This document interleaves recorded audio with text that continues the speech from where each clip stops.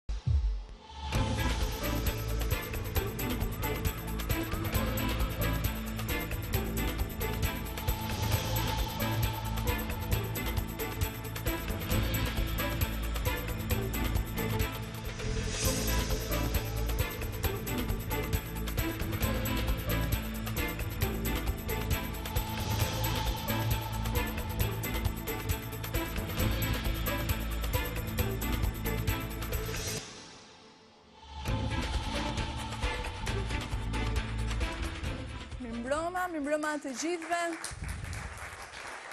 Mirëmbrëma, familjarë që unë kam të ftuar në studio, publik, të nderuar teleshikues, mirëmbrëma dhe fillimisht do të doja t'ju uroja një vit të mbarë, starton kështu këtë sezon pra dhe këtë vit emisioni njerëz të humbur gjithmonë me një mision.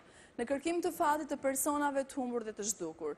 Do të jemi sërish së bashku në këto transmetime të drejtpërsëdrejta çdo të mërkurë në kërkim të fatit të atyre personave të cilët janë zhdukur pa lënë adresë. Por jo vetëm kaq, në studion tonë do të përcjellim emocione të jashtëzakonshme nga histori njerëzore të paraqitura dhe të prezantuara në emisionin tonë edhe emisionet e kaluara, Dhe do t'ju tregojmë deri ku kemi arritur ne me kërkimet tona. Do të kemi rubrika si çdo sezon pra, siç është një nga më të suksesshmet e emisionit tonë Ironia e fatit, ku do të shpresojmë që me ndihmesën tuaj të nderuar teleshikues, të bashkojmë njerëz të cilët janë larguar apo kanë humbur lidhjet me njëri-tjetrin para shumë vitesh dhe në rrethana nga më të ndryshmet. Por le të fillojmë sonte pra këtë transmetim të drejtpërsëdrejti, si gjithmonë do të jemi në valët e televizionit publik shqiptar, në valët satelitore dhe tokësore. Mund të na ndiqni pra drejtpërsëdrejti si brenda Shqipërisë edhe jashtë saj. Me ne mund të kontaktoni në numrat tanë të telefonit, të cilët janë të afishuar në ekranin tuaj, janë tre numra fiks, pra dy numra fiks ku ju mund të kontaktoni me emisionin tonë, si dhe një numër celular Në të mund të dërgoni informacione vetëm nëpërmjet mesazheve. Çdo mesazh pra ka vlerën e një mesazhi të thjeshtë nuk ju kushton, prandaj do t'ju lutesha si çdo herë, si çdo të mërkurë, ju keni qenë mbështetja më e madhe e këtyre familjarëve të cilët vijnë në studion tonë për të kërkuar të dashurit e tyre për t'u bashkuar me ta. Le të Shpresojmë pra që dhe në këtë sezon do të jeni mbështetja jonë më e madhe, duke na ndihmuar me informacione. Le të nisim pra këtë të mërkurë në sloganin që na ka shoqëruar për 9 sezone transmetimesh live drejtpërsëdrejti, pra rresht le të bashkohemi të gjithë, të nderuar miq, të nderuar teleshikues, shqiptarë kudo që ndodheni. Le të bashkohemi të gjithë, ju nëpërmjet informacionit që mund të dërgoni në studion tonë, sonte, por gjatë gjithë javëve në vazhdim, dhe ne nëpërmjet kërkimeve tona dhe le t'i kthejmë këta njerëz në familje. Do të jetë sonte një e mërkurë e gjatë kërkimesh, investigimesh, do t'ju paraqesim histori të cilat nuk i keni dëgjuar ndonjëherë, por do të ndalojmë dhe në histori që ne i kemi prezantuar, kemi investiguar, hulumtuar, rreth fatit të tyre edhe sezonet të kaluara, megjithatë sonte rikthehemi sërisht dhe unë do doja t'ju vija në dijeni se sonte ne do ta fillojmë me një histori që jam e bindur që të gjithë ju jeni të interesuar të dini se çfarë u bë pra dhe çfarë ka ndodhur, ku ndodhet Bleona e vogël, Bleona Mata e cila për uh, vite të tëra rezulton e humbur për familjarët e saj. Sonte me ne në studio ndodhet nëna e saj, zonja Bukurie, mirëmbrëma, mirë se ke ardhur. Përpara se unë t'i jap fjalën dhe zonjës Bukurie për të parë se cilat kanë qenë dhe ato kërkime që ata vetë kanë bërë gjatë kësaj periudhe që nuk kanë qenë uh, pra në emisionin tonë, por që jam e bindur që kanë kërkuar derë më derë, kanë kërkuar nëpërmjet njerëzve të ndryshëm, nëpërmjet uh, organeve kompetente të policisë. për fatin e vajzës së tyre, unë fillimisht do të doja në këto momente të japim një bllok pasaportash televizive. Le ta nisim këtë sezon të ri, pra këtë vit të ri, me një bllok pasaportash televizive. Të gjithë këta njerëz që ju do të shikoni në ekranin tuaj, të nderuar miq, rezultojnë të humbur. Rezultojnë të zhdukur në rrethana që ne nuk i dimë dhe ato jemi duke kërkuar këto momente. Do të doja vëmendjen tuaj, në qoftë se i keni parë diku këta njerëz, mos nguroni, por telefononi këtë mbrëmje.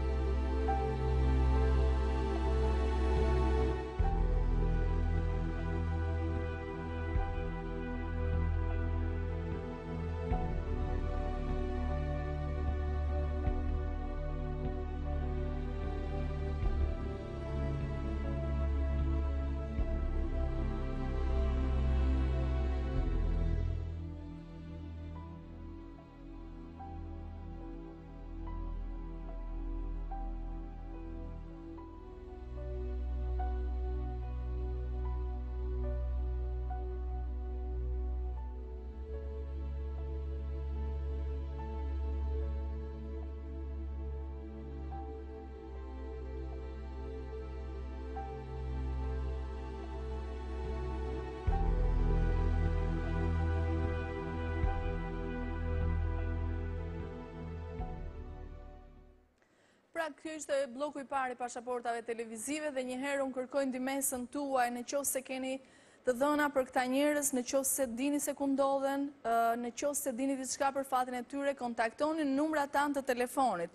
Edhe një herë, dy numra fiks, pra, që ju i keni të afishuar në ekranin tuaj, në to mund të telefononi këtë mbrëmje, por jo vetëm këtë mbrëmje, por mund të telefononi gjatë gjithë javës, në këta numra telefoni, në redaksinë e emisionit Njerëz të Humbur, gjithashtu sonte mund të dërgoni informacionet tuaja dhe në numrin celular, të cilin e keni të afishuar në ekran, Vetëm nëpërmjet SMS-it, nuk mundet të telefononi në këtë numër, por mund të dërgoni vetëm informacione nëpërmjet mesazheve. Gjithashtu, të nderuar miq, si gjithmonë, në dispozicionin tuaj është dhe faqja jonë zyrtare, pra Njerëz të Humbur, www.njereztehumbur.al, por dhe faqja jonë zyrtare në Facebook, dhe unë këtu dua të falenderoj të gjithë ata persona të cilët kanë qenë aktivë në faqen tonë, duke dhënë sugjerimet e tyre, duke dhënë informacionet e tyre, duke diskutuar rreth të gjitha këtyre rasteve të cilat ne prezantojmë në emisionin tonë. Fillojmë pa humbur kohë, vazhdojmë pra siç e thashë dhe në fillim me historinë e Bleona Matës. Unë do të doja një herë t'i jepja fjalën zonjës Bukurie, nënës së Bleonës. Pra, mirëmbrëma dhe një herë Bukurie. Shpresojmë që të nisim këtë vit pra të ri Me lajme të mira për Bleonën. Faleminderit, Zoti ju ndihmoftë. Unë fillimisht do doja t'ju pyesja gjatë gjithë kësaj periudhe që ju nuk keni qenë e pranishme në studion tonë, por ne së bashku kemi biseduar edhe me gazetarët, ju keni folur vazhdimisht. Do doja të dija deri ku kanë arritur kërkimet, çfarë ju kanë thënë policia, vazhdojnë kërkimet për Bleonën, Ka pasur ndonjë informacion të rëndësishëm që ju doni ta bëni publik për momentin, këtë mbrëmje? Si kanë qenë pra të gjitha këto kërkime? Mirëmbrëma Aida dhe përshëndetje për emision dhe gëzuar të jetë një vit i mbarë për gjithë nanat që kanë dhimbje dhe plagë të hapura në zemër. Unë ka katër vite rresht që nuk heshti duke kërkuar Bleonën e vetme, bijën time të vetme që e pres me padurim, sepse dhimbja e Bleonës i ka prek gjithë shqiptarët, gjithë familjarët kudo që ndodhen. Për mua nga ana e shtetit nuk më duket një gjë e drejtë që të kërkojë fatin e Bleonës, sepse që në fillim fati i Bleonës ishte në duart e pesë vajzave dhe shteti nuk bëri atë të duhurën për të kërkuar vajzën. Unë nuk kam reshtur edhe një sekond. Kemi njerëz që janë ballafaqu për rastin e Bleona Matës dhe shteti nuk i ka marrë përsipër fare. Jemi taku me njerëz shumë të randësishëm, thotë e kërkojmë, thotë nuk flemë, do I bim në gjurmë Bleonës dhe unë nuk po shof fëmin tim me sy ka katër vite radhazi përderisa unë arrita si nanë dhe i çova personin nëpër organet kompetente nëpër prokurori, qe dëshmitar që të dhanë vendndodhjen e Bleonës se ku ndodhet me me përgjus me tana, dhe nuk e di ç'pret shteti më nga Nga ne. Bukurie, ju jeni larguar tashmë, nuk jetoni në të njëjtin fshat, megjithatë keni shkuar herë mbas here të pyesni në qoftë se ka ardhë ndonjë, kanë ata kanë mësuar diçka, keni pas ndonjë lajm, pra nëse vajza është parë diku, apo keni Ka pas ndonjë të dhënë të cilën dëshiron ta bësh publike apo të kërkosh ndihmesën e dikujt që ju mendoni se mund të dijë diçka? Dhe unë duke ditur dhe historinë e Bleonës, mendoj se është një person kyç, jo vetëm një, por janë të pesta vajzat. Por njëra prej tyre është Qamilja, ajo që e ka marrë Bleonën nga fshati dhe e ka çuar në majë të malit. Ajo është autori i ngjarjes, Qamilja që në fillim të... Çfarë bëhet me Qamiljen? Ku ndodhet ajo? Qamilja ndodhet e lirë në shtëpi. Dhe unë disa herë kam bën kërkesë shtetit që Qamilja e din ku ndodhet vajza ime dhe e din se kujt ja ka dhënë Qamilja me dorë sepse Qamilja është autori, e mori Bleonën, i bleu tek dyqani e çoi në mal edhe ja dha dikujt dhe pse ne ne si familjar tre muaj Vazhdonim të kërkonim malet, shkurret, brigjet, kur ajo e dinte se kush ishte personi që e shoqëronte mbrapa. Gjithsesi janë pesë vajza dëshmitare të Bleonës, por autori është Qamil. Në fakt, duke marrë parasysh edhe të gjitha kërkimet që ne kemi bërë, prezantimin e historisë së Bleonës që në momentin që ajo ka humbur, Në adresë të emisionit tonë, kanë ardhë shumë telefonata, informacione, madje dhe ju vetë, ju kanë ardhë njerëz dhe ju kanë thënë se vajza është parë, diku është parë jashtë territorit të Shqipërisë, njëherë ishin dyshimet për në Kosovë, mas gjithë kërkimeve që janë bërë në Kosovë, nuk rezultoi që Bleona të, pra, ose më mirë të kishim diçka konkrete, që ne të kapeshim dhe të fillonim kërkime dhe hulumtime. Gjithashtu dhe policia e Kosovës nuk është se ka dhënë diçka konkrete nëse vajza mundet të ketë hyrë, apo ka pista dyshimit të ngritura për historinë e Bleonës. Por, vëmendja më e madhe, të paktën nga emisioni Njerëz të humbur, ka qenë në shtetin grek.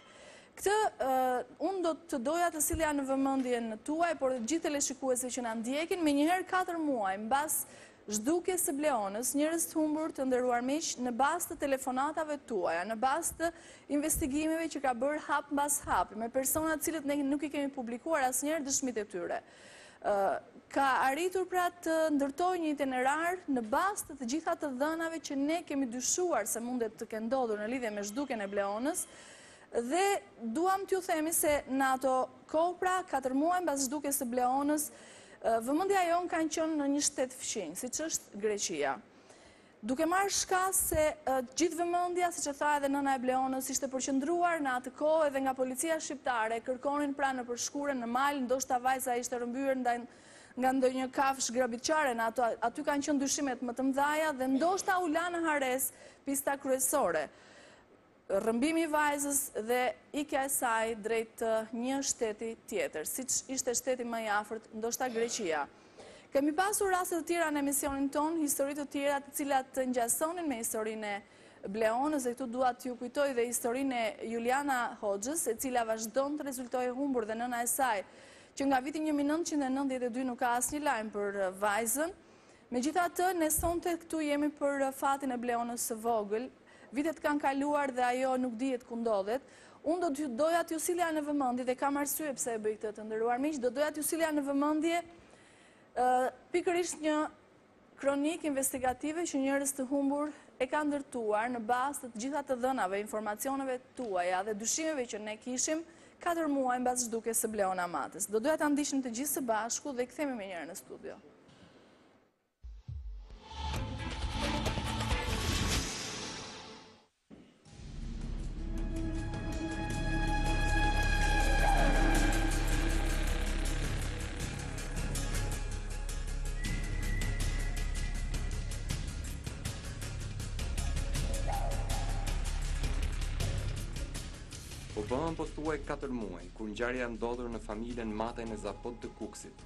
ende nuk ka gjetur zgjidhje.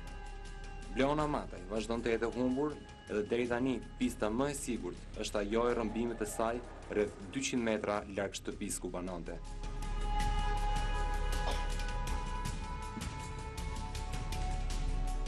Në të njëjtën datë kur vajza është zhdukur, është hapur dhe tuneli i Kalimashit dhe fluksi i lëvizjeve drejt Kosovës dhe anasjelltas ka qenë shumë i madh. Për këtë arsye, është vënë në dijeni policia kufitare në Shqipëri dhe ajo në Kosovë nëse vajza mund të kishte kaluar përtej kufirit.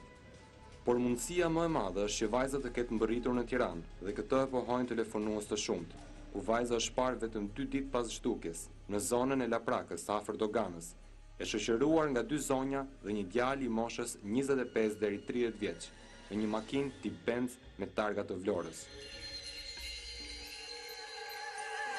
Vetëm përpara një muaji, për herë të parë, mbërrijnë të dhëna për praninë e vajzës jashtë kufirit të Shqipërisë.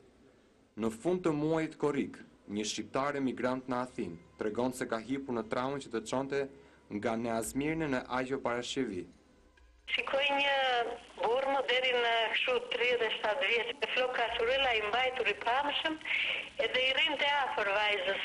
Kjo ishte e ulur se dilje edhe u thotë u ula përballë, thotë edhe e shikova me kureshtje vajzën më bëri përshtypje thotë se Kjo vetëm thotë e shikoja një herë në sy kështu ngriti kokën lart vajza as nuk foli po doja si e si të fliste thotë që t'i dëgjoja zënë se e kemi dëgjuar në televizor vajzën zërin e saj edhe si e si doja ta dëgjoja thotë në moment e shikova po kështu thotë ne Edhe rrinte nga afër shumë ai personi më thotë mua si duket ai ishte thotë që rrinte me vajzën kështu edhe dy stasa thotë zbrita u thotë po më bëri përshtypje të doja si e si të fliste vajza vetëm t'i dëgjoja zënë po thotë se nëntëdhjetë për qind ishte ajo më thotë. Sërish në Athinë, kësaj here Në Leoforos Aleksandria, një zotëri tregon se një çift shqiptarësh së bashku me një vajzë të vogël i kanë kërkuar ndihmë për t'i strehuar pasi nuk kishin dokumente qëndrimi në Greqi dhe ruheshin nga policia. Zotëria i ka strehuar në një hotel vetëm dhjetë minuta larg stadiumit Panathinaikos. Çifti së bashku me vajzën kanë qëndruar vetëm një natë dhe ditën tjetër janë larguar. Deri tani Greqia është e vetmja pistë qendrore dhe zona ku vajza është parë është Athina. Mendohet se rrëmbimi ka motive banale dhe lidhet direkt me familjen e vajzës. Deri tani janë bërë të njohur disa emra që mund të jenë të implikuar në rrëmbimin e Bleona Mataj, por policia nuk heziton për të marrë si të vërtetë edhe marrjen e vajzës nga një kafshë e egër në vendin e ngjarjes apo humbjen e vetë vajzës në pyll, megjithëse ende të pabazuara mbi prova të vërteta.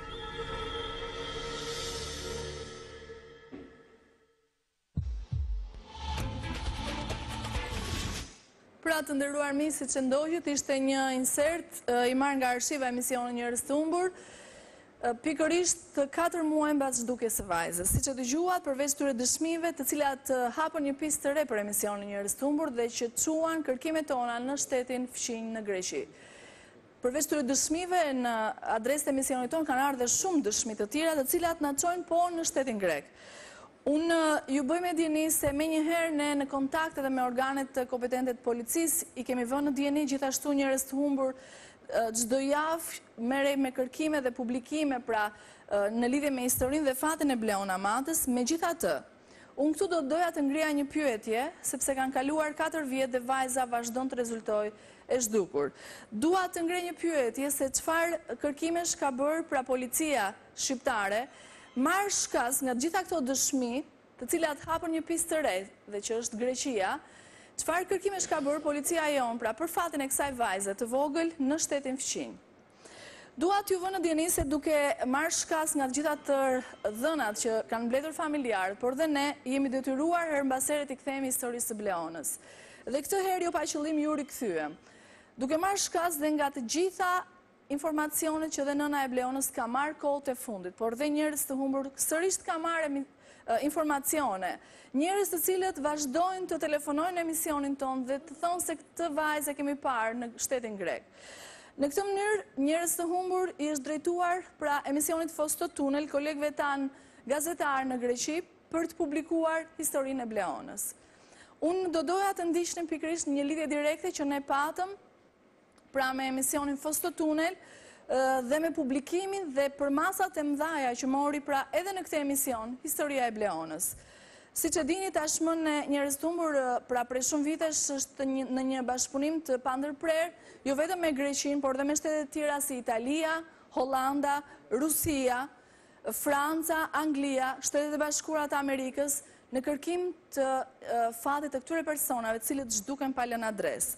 Pra, jemi duke bashkëpunuar me një qëllim. Kjo ishte dhe arsyeja përse ne kërkuam ndihmën e kolegëve tanë në shtetin grek. Unë do të doja të ndjekim pikërisht këtë lidhje direkte që ne patëm me ta dhe kthehemi menjëherë në studio.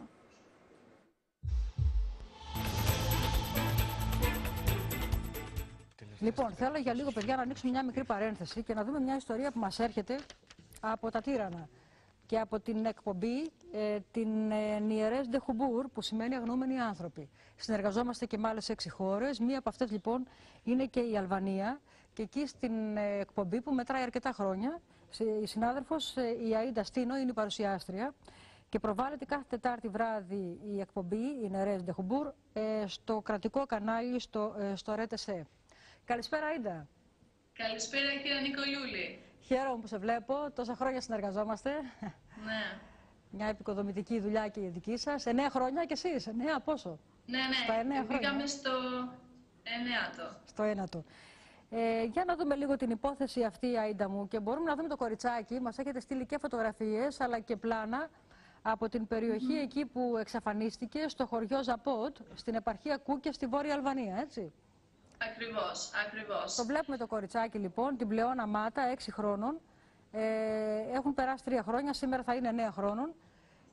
Και η έρευνά σα και οι αλβανικέ αρχέ καταλήγουν ότι το παιδί πρέπει να έπεσε θύμα απαγωγή και να βρίσκεται στην Ελλάδα. Ναι. Εγώ στην λοιπόν. αρχή. Ναι. ναι. Στην αρχή θα ήθελα να σας ευχαριστώ για αυτή την σύνδεση για τη μικρή πλεόνα. Ναι. Και όπως τα είπατε κι εσείς, ε, η, μικρή μπλεώνα μάτα ε, έχει χαθεί από 22 Μαΐου του 2010 από το χωριό της Ζαπότ της Κούξης και από τότε κανένας ε, δεν την είχε δει.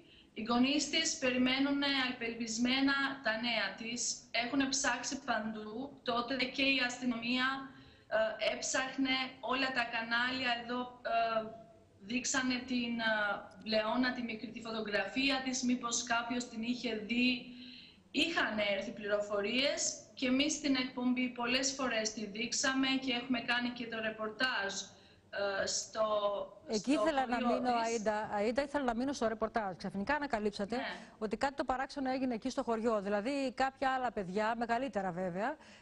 απο, ναι. απομάκρυναν το κοριτσάκι σε ένα σημείο και μετά το, ε- το ένα έριχνε ευθύνε στο άλλο. Το αποτέλεσμα ότι κάποιο αυτοκίνητο είχε εμφανιστεί εκεί με έναν ξένο στο χωριό άνθρωπο και η μικρή χάθηκε.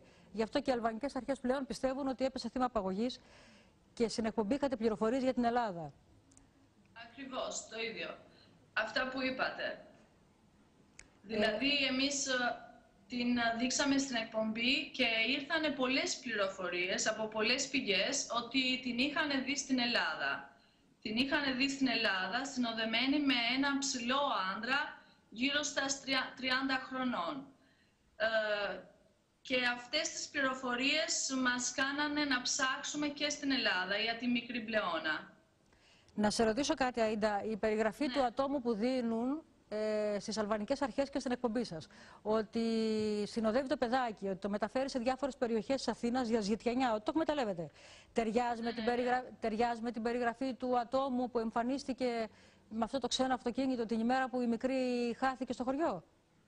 Ε, επειδή ταιριάζουν οι πληροφορίες με αυτό τον άτομο που τότε είχε, εξαφαν... είχε την είχαν, τον είχαν δει στο χωριό της με ένα ναι. αυτοκίνητο.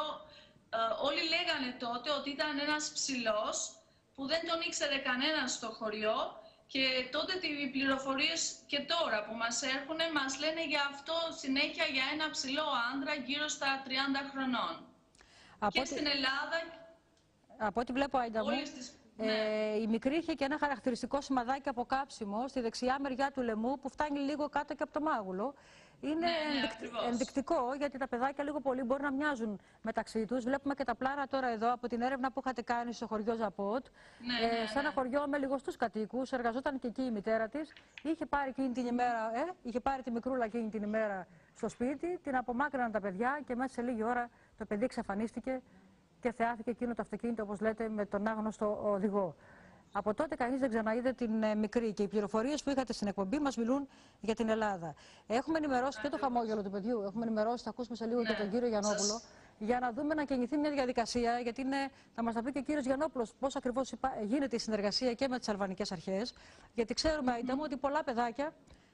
τα φέρνουν έτσι από την γείτονα χώρα, τα φέρνουν ναι, εδώ ναι, και τα εκμεταλλεύονται. Αυτή είναι μια γνωστή ναι, ιστορία. Ναι, και το χαμόγελο του παιδιού την ξέρει περισσότερο, όπω επίση και οι αστυνομικοί δικοί μα ε, τη γνωρίζουν. Θα δούμε πώς ναι. μπορεί να γίνει η συνεργασία για να ε, σημάνει και συναγερμός για το παιδάκι, εφόσον πλέον τα στοιχεία μας οδηγούν στην Ελλάδα, μας ε, φέρνουν στην Αθήνα.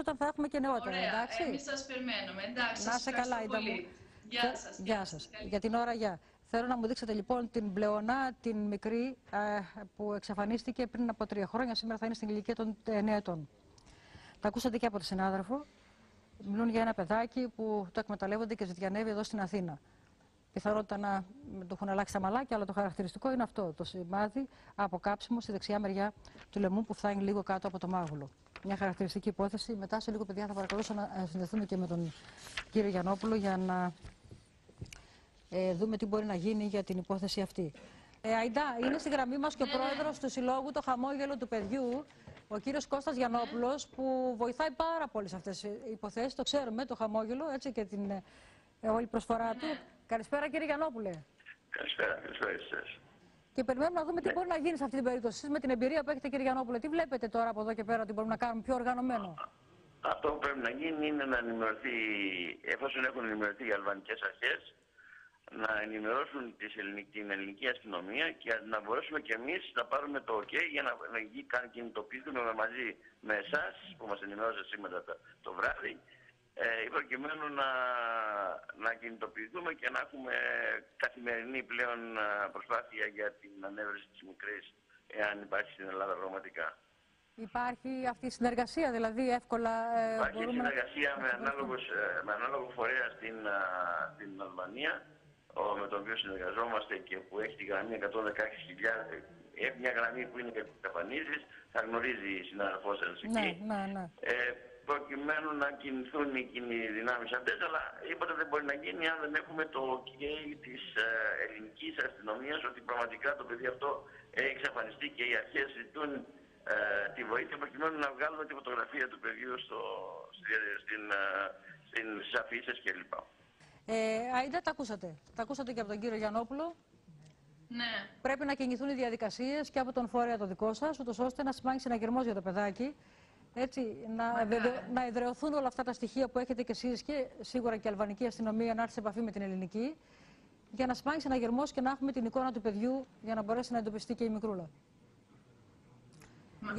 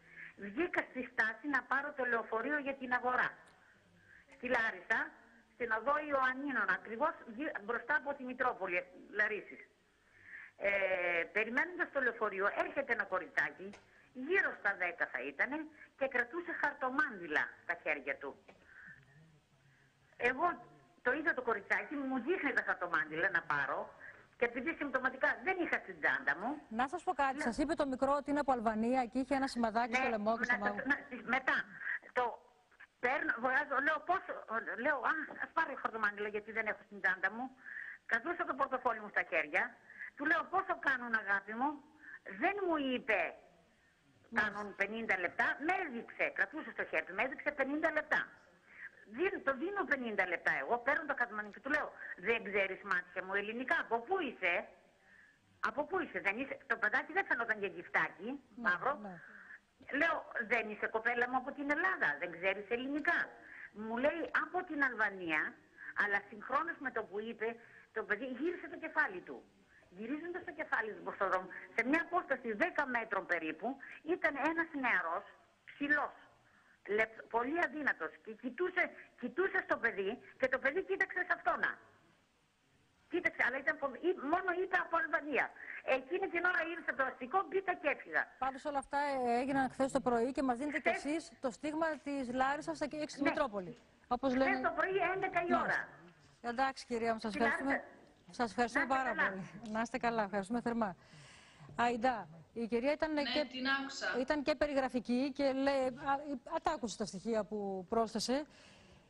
Αυτή η ναι. μαρτυρία έρχεται να δέσει και με άλλε που μα έρχονται κυρίω από τη Λάρισα. Ενώ τα άλλα είναι στίγματα Αθήνα, Πειραιά, που μιλούν για ένα mm παιδάκι που μοιάζει. Στη Λάρισα βλέπουμε, δεν ξέρω γιατί, βλέπουμε να εστιάζεται η έρευνα και να μα μιλούν για ένα παιδάκι με σημάδι. Άρα ναι. λοιπόν, ναι, τα βλέπω, τα βλέπω παιδιά, τα είδα και πριν. Άρα λοιπόν θα είμαστε σε επαφή για να δούμε πού μπορεί να οδηγήσουν αυτέ οι έρευνε.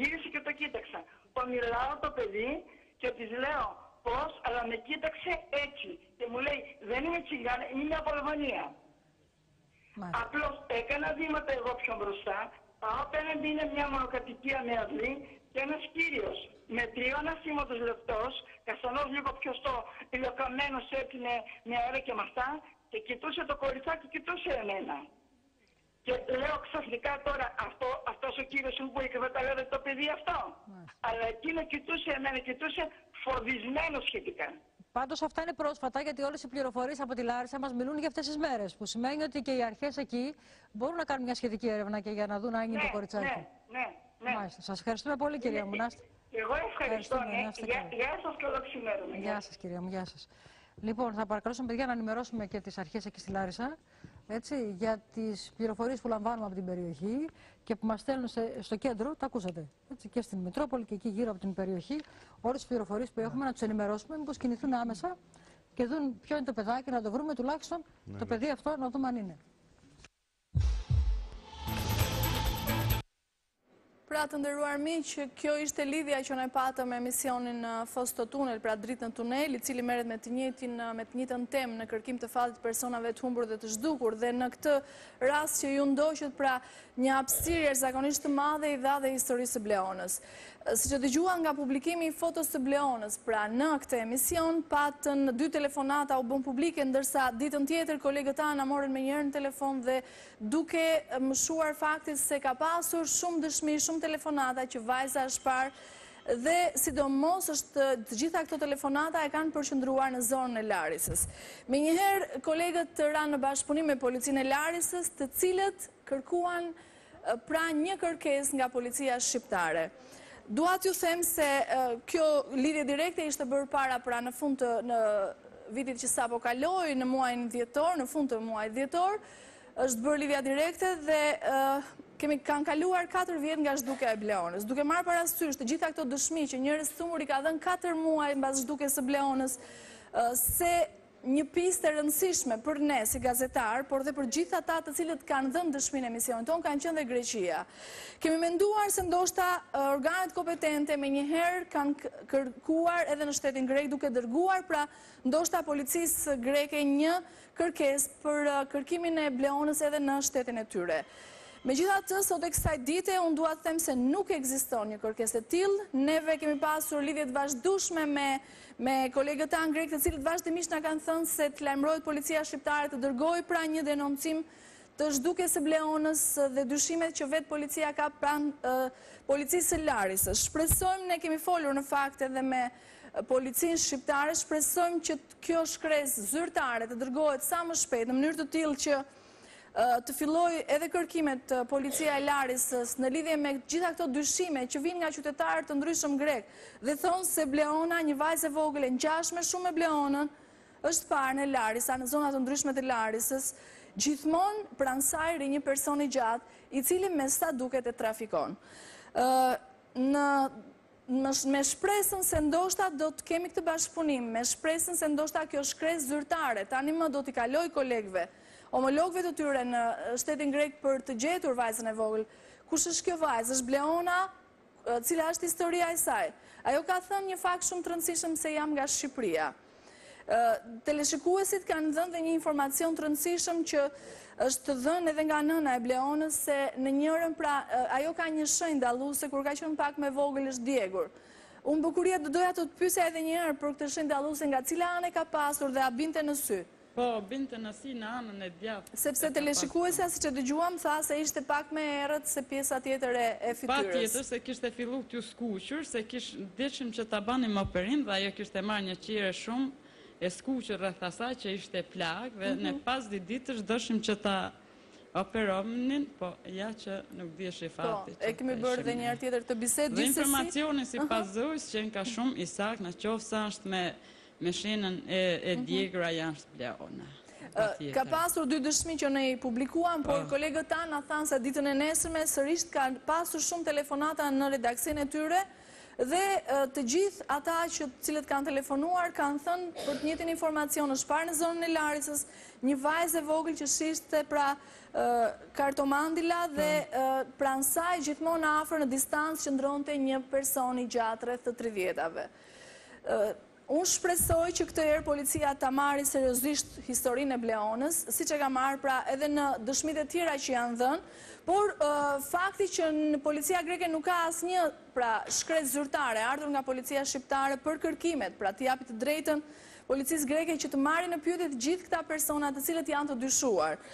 Nuk mund të nisë një procedurë e tillë pa një shkresë zyrtare të policisë tonë dhe unë nëpërmjet emisionit tim do doja t'i bëja thirrje organeve kompetente shqiptare menjëherë pra të fillojnë kërkimet në shtetin fqinj në Greqi ku ne kemi trumbetuar pra në emisionin tonë katër muaj menjëherë mbas zhdukjes së Bleonës. Shpresoj, shpresoj që vërtet kjo vajzë e vogël të jetë Bleona, gjithsesi dhe nëse s'është Bleona, Le të zbulojmë kush është kjo vajzë e vogël nga Shqipëria e cila endet rrugëve të Greqisë edhe shet pra kartopiceta. Gjithsesi do të jemi gjithmonë në pritje. Unë do doja t'i jepja fjalën Benardit sepse ka pasur dhe disa të dhëna të tjera të cilat unë mendoj se duhet merren parasysh Sërisht me pistën e re që është hapur pra që katër muaj mbas zhdukjes së Bleonës në në shtetin grek. Benard, Në fakt unë dua ta ta nis që nga Shqipëria, sepse ne kemi patur në atë kohë një telefonatë anonime krahas shumë telefonatave të tjera, të cilat mundoshin të hidhnin dritë mbi zhdukjen e Bleona Matës dhe ka qenë një telefonues, siç e thashë anonim, i cili thoshte se Ai vetë merrej me kalim pra të paligjshëm, mhm. le ta quajmë të emigrantëve drejt shtetit grek, dhe disa ditë mbas zhdukjes së Bleonës, ai është plotësisht i bindur që e ka kaluar këtë vajzë, por nuk ka qenë në dijeni. Mhm. Nuk i kishte ndjekur lajmat ashtu siç duhet dhe nuk ishte në dijeni të historisë dhe thotë jam i sigurt që unë e kam kaluar vajzën e vogël dhe ka qenë e shoqëruar nga një zonjë E quajtur Albana K, nuk po japim mbiemrin, por sot e bëjmë për herë të parë publik këto informacion.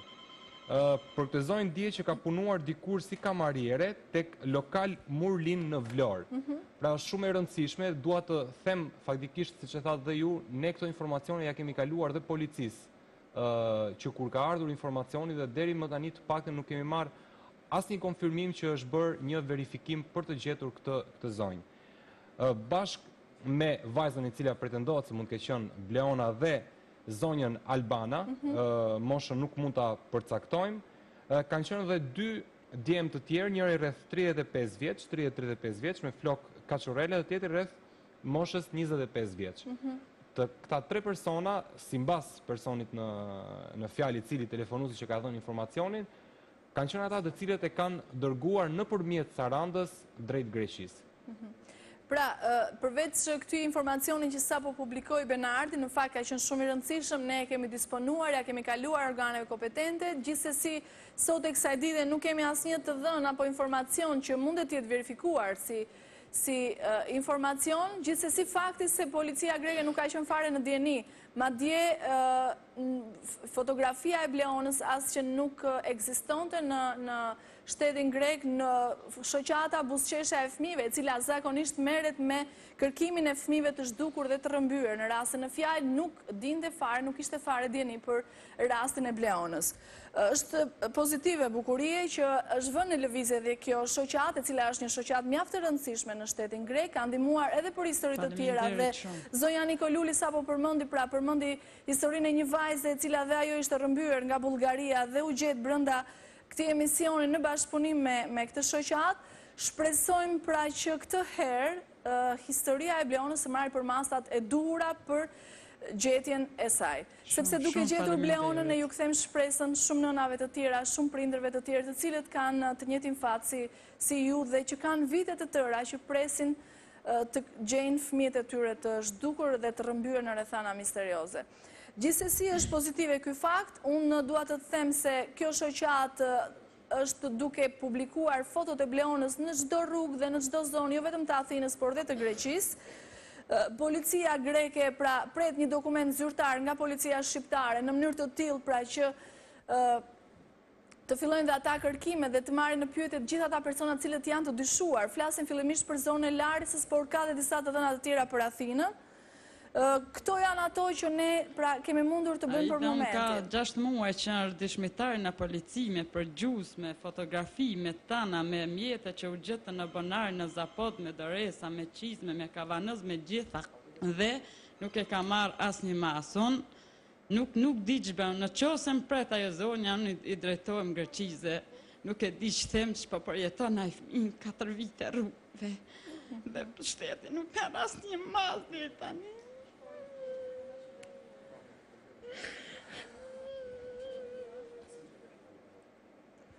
Bukurie, unë unë shpresoj, shpresoj që shpresoj që ne kryesorja është të gjejmë të jetë shëndoshë e mirë vajza dhe pastaj gjithë të tjerat do të rregullohen. Ajo është e vogël, gjërat rikuperohen, megjithatë kryesorja është që ne të biem në gjurmët e saj. Me sa duket këtë herë, po Benard.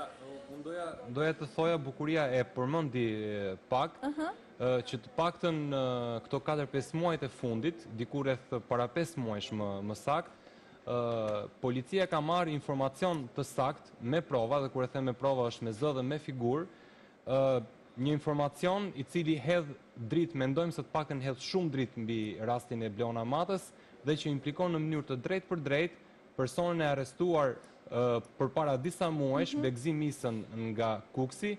I cili ka qenë një nga të dyshuarit. Dhe njëri nga vajzat e për të cilët të gjithë përflasin se është e dyshuara kryesore në këtë histori, që është Qamile Mata, dhe kanë gjetur dhe provat e implikimit të tyre, dhe çuditërisht po bëhen gati 5 muaj që këtë informacion e ka dhe një të paktën atëherë ka qenë një zyrtar shumë i lartë i policisë, dhe deri më tani s'kemi marrë vesh qoftë se e ka vazhduar verifikimin sepse i ka me emra konkretë, me vende konkrete dhe biles dhe siç është kemi ne informacionin konfidencial dhe me zonën ku ndodhet Bleona në Greqi. Unë edhe një herë shpresoj dhe kam bindje në bashkëpunimin e policisë, këtë herë le të vihen të mobilizohen të gjithë sepse këtu ka humbur një vajzë e vogël, nëna e saj siç e shikoni pra është duke bërë apel për të gjithë ata që mundet të ndihmojnë dhe në rastin në fjalë është pikërisht policia e shtetit, Ka pasur informacione, ka pasur të dhëna, nuk e dimë pse nuk i ka verifikuar, gjithsesi është kërkuar vetëm atë ditë në malin e Zapodit, mos ndoshta vajza ishte rrëmbyer nga ndonjë kafshë grabitqare, ne kemi pra edhe një herë boshllëqe nëse vajzat janë marrë në, të pesta vajzat janë marrë në pyetje pra dhe janë marrë në pyetje ashtu siç duhet, sepse thjesht nga një pra publikim që ne kemi pas në emisionin tonë, vajzat i kemi pasur të ftuara në studio dhe ato publikisht pra pohuan disa gjëra të cilat ndoshta nuk i kishin thënë asnjëherë, por unë jam e bindur që vetë organet kompetente duhet patjetër, patjetër dhe një herë të sjellin në vëmendje këtë histori duke filluar dhe një herë procesin nga e para. Sigurisht unë shpresoj që të të reagojnë, do gjeja edhe momentin t'i bëja thirrje në mënyrë drejtpërdrejt edhe ministrit të Brendshëm, edhe kryeprokurorit të shtetit që të merrnin masa sepse kjo histori realisht është e zgjatur përtej çdo limiti dhe nuk mhm. edhe mbi të gjitha i çfarëdolloj moshe të jetë kemi të bëjmë me një jetë njeriu. Por kur kemi të bëjmë me një fëmijë të moshës së Bleonës është diçka e cila na na prek të gjithëve. Patjetër, sepse unë e thashë dhe pak përpara, ne duke kërkuar dhe ndoshta duke gjetur Bleonën, duke zbuluar gjithë atë rrjet që ka gisht në zhdukjen e vajzës, në rrëmbimin e vajzës, se tashmë është e bindur, jemi më se të bindur ne si gazetarë se vajza është rrëmbyer, me qëllim Qamilja e ka marrë nga fshati dhe e ka çuar në majën e Zapodit, pastaj diçka tjetër pra është ka ndodhur atje, gjithsesi Deri për momentin të gjitha vajzat kanë heshtur, ndoshta është momenti që kjo histori të marrë pra rrugën e duhur dhe të marrim vesh se ku ka përfunduar Bleona. Kemi, po, po, Albano. Më ka telefonuar një zotri nga Fieri, ku pohon se pas 6 muaj, 6 muaj pasi është zhdukur Bleona, është parë një vajzë e tillë, thotë, me bishtaleca, me një xhup të errët, e shoqëruar nga një zotri i gjatë dhe i hollë, siç e përshkruante edhe Po. Zonja Nikoluli, është parë në Fier tek një lokal përballë prefekturës. Gjashtë muaj mbasi të humb, mbasi ka humbur. Gjashtë muaj mbasi ka humbur, edhe deklaron që vajzës vazhdimisht i jepnin birrë edhe cigare. Kjo ka alarmuar edhe kamarierin e lokalit, ku më vonë ka lajmëruar policinë. Por, zotërinjtë janë larguar, më pas është bashkuar dhe një zotëri tjetër, Të tre, me fjalë dy zotërinj, bashkë me një zonjë tjetër, me, me vajzën e vogël, janë larguar nga lokali, janë drejtuar në një rrugicë të vogël dhe më pas ka ardhur policia. Dhe është i bindur që ka qenë Bleona duke u nisur eh, edhe nga disa rrethana të tjera, ku ka qenë, historia ka qenë e freskët në atë kohë, dhe deklaron që Mendon se mund bazohet të tek ketë foto qenë duke Bleona. duke ndjekur Unë edhe edhe edhe njerë do foton doja e regjia të më ndihmon foton e me foton e Bleonës. vajzës, gjithsesi duhet përmendur se në moshën që ajo është zhdukur ka qenë vetëm 6 vjeç apo jo. Gjashtë vjeç ka qenë muaj maj. Njëzet e dy maj, atë ditë është hap tuneli i Kalimashit, me njëzet e dy maj, në ditën e zhdukjes së Bleonës. Ndërkohë, po? Këto kanë qenë informacionet, bile se ai është shumë i sigurt sepse thotë ata nuk ishin nga Fieri, sepse nuk e kishin as fëmijën e tyre, sepse është jashtë çdo logjike që prindërit ose të afërmit të trajtojnë ashtu një fëmijë duke i dhënë duke i dhënë cigare apo alkool. Kemi diçka? Atëherë edhe një herë do doja të të këmbëngulja për gjithë organet kompetente që na dëgjojnë. E dimë, e kemi informacion të sigurt që në dorë të tyre ka përfunduar një regjistrim i cili hedh dritë komplet mbi zhdukjen e Bleona Matës. Edhe disa gjurmë në terren përpara disa muajsh i kanë gjetur tek një vend në në Kukës, kanë gjetur doreza, kanë gjetur një kavanoz me një shumë të madhe të konsiderueshme eurosh, Dhe kanë gjetur gjithashtu edhe një palë çizme.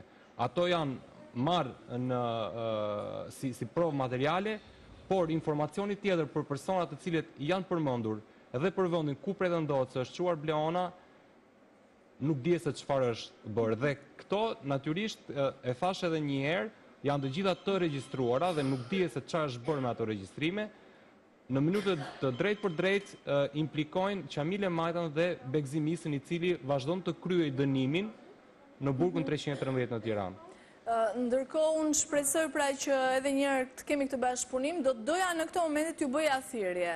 Duke marrë shkas nga dy telefonatat që Angjeliqi Nikoluli pra publikoi në emisionin e saj Fos sto Tunel për fatin e Bleonës dhe siç e dëgjuat pra një vajzë e ngjashme me Bleonën Është parë në zonën e Larisës. Pikërisht për këtë arsye unë ju bëj thirrje të gjithë emigrantëve shqiptarë që jetojnë në këtë zonë. Në qoftë se e hasin gjatë pra ditës së tyre një vajzë të tillë, do të doja t'i afroheshin dhe t'i flisnin. Të marrim vesh si e ka emrin. Do t'ju lutesha në emër të kësaj nëne të na ndihmoni për gjetjen e kësaj vajze. Do doja t'i bënit një foto, qoftë për ta verifikuar është Bleona apo është dikush tjetër. Edhe një herë ju bëj thirrje të gjithë emigrantëve shqiptarë që na ndjekin nga Larisa, nga gjithë fshatrat përreth, por dhe nga Athina. Unë jam e bindur që do të kemi bashkëpunimin tuaj si çdo herë që ju keni ndihmuar dhe keni bërë maksimumin tuaj sikur të keni menduar për për personin tuaj të afërm. Le të mendojmë se dikush nga familja jonë mungon dhe pikërisht ky është një fëmijë i vogël, është një vajzë e vogël, e cila nuk gjen dot rrugën e kthimit, nuk mundet të shkojë te prindërit e saj. Nuk mundet të kërkojë ndihmë. Prandaj të nderuar miq vini dorën në zemër, të gjithë ju shqiptarë, që ndoshta keni informacione dhe të dhëna për këtë vajzë, ndihmoni sonte në gjetjen e saj. Edhe një herë ju vë në dijeni numrat tanë të telefonit i keni të afishuar në ekran. Kemi diçka tjetër. Atëherë kalojmë në një hapësirë të shkurtë publicitare, mos u largoni, presim telefonatat tuaja dhe kthehemi menjëherë në studio.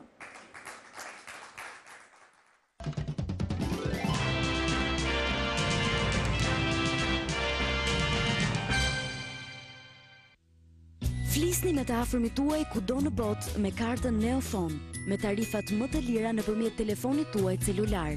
Deri në 50 minuta kohë bisede nga celulari me 500 lekë me TVSH. E gjeni tek zyrat e postës shqiptare dhe pikat e gazetave në të gjithë Shqipërinë. Për më shumë informacion, vizitoni neofon.al.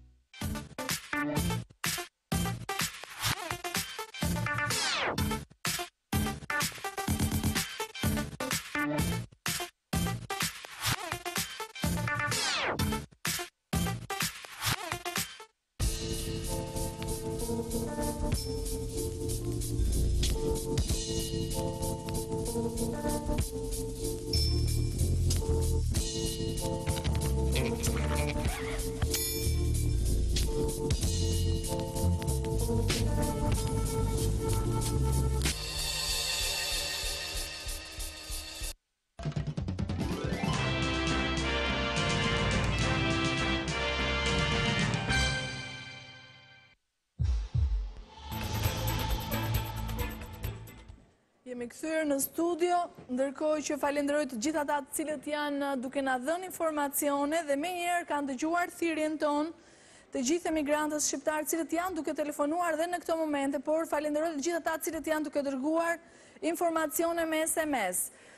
Po Benard. Ëë, janë disa teleshikues nga Vlora të cilët janë të interesuar për të dëgjuar edhe një herë informacionin për sa i përket zonjës që quhej Albana K.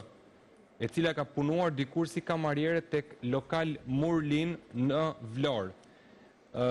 Kjo e fundit mendohet se bashkë me dy djem të tjerë, njëri rreth tridhjetë e pesë vjeç me flokë kaçurrele me flokë kaçurrela dhe tjetri rreth njëzet e pesë vjeç kanë kaluar disa ditë mbas zhdukjes së Bleonës, këto të fundit drejt Greqisë, nëpërmjet pikës kufitare në Sarandë.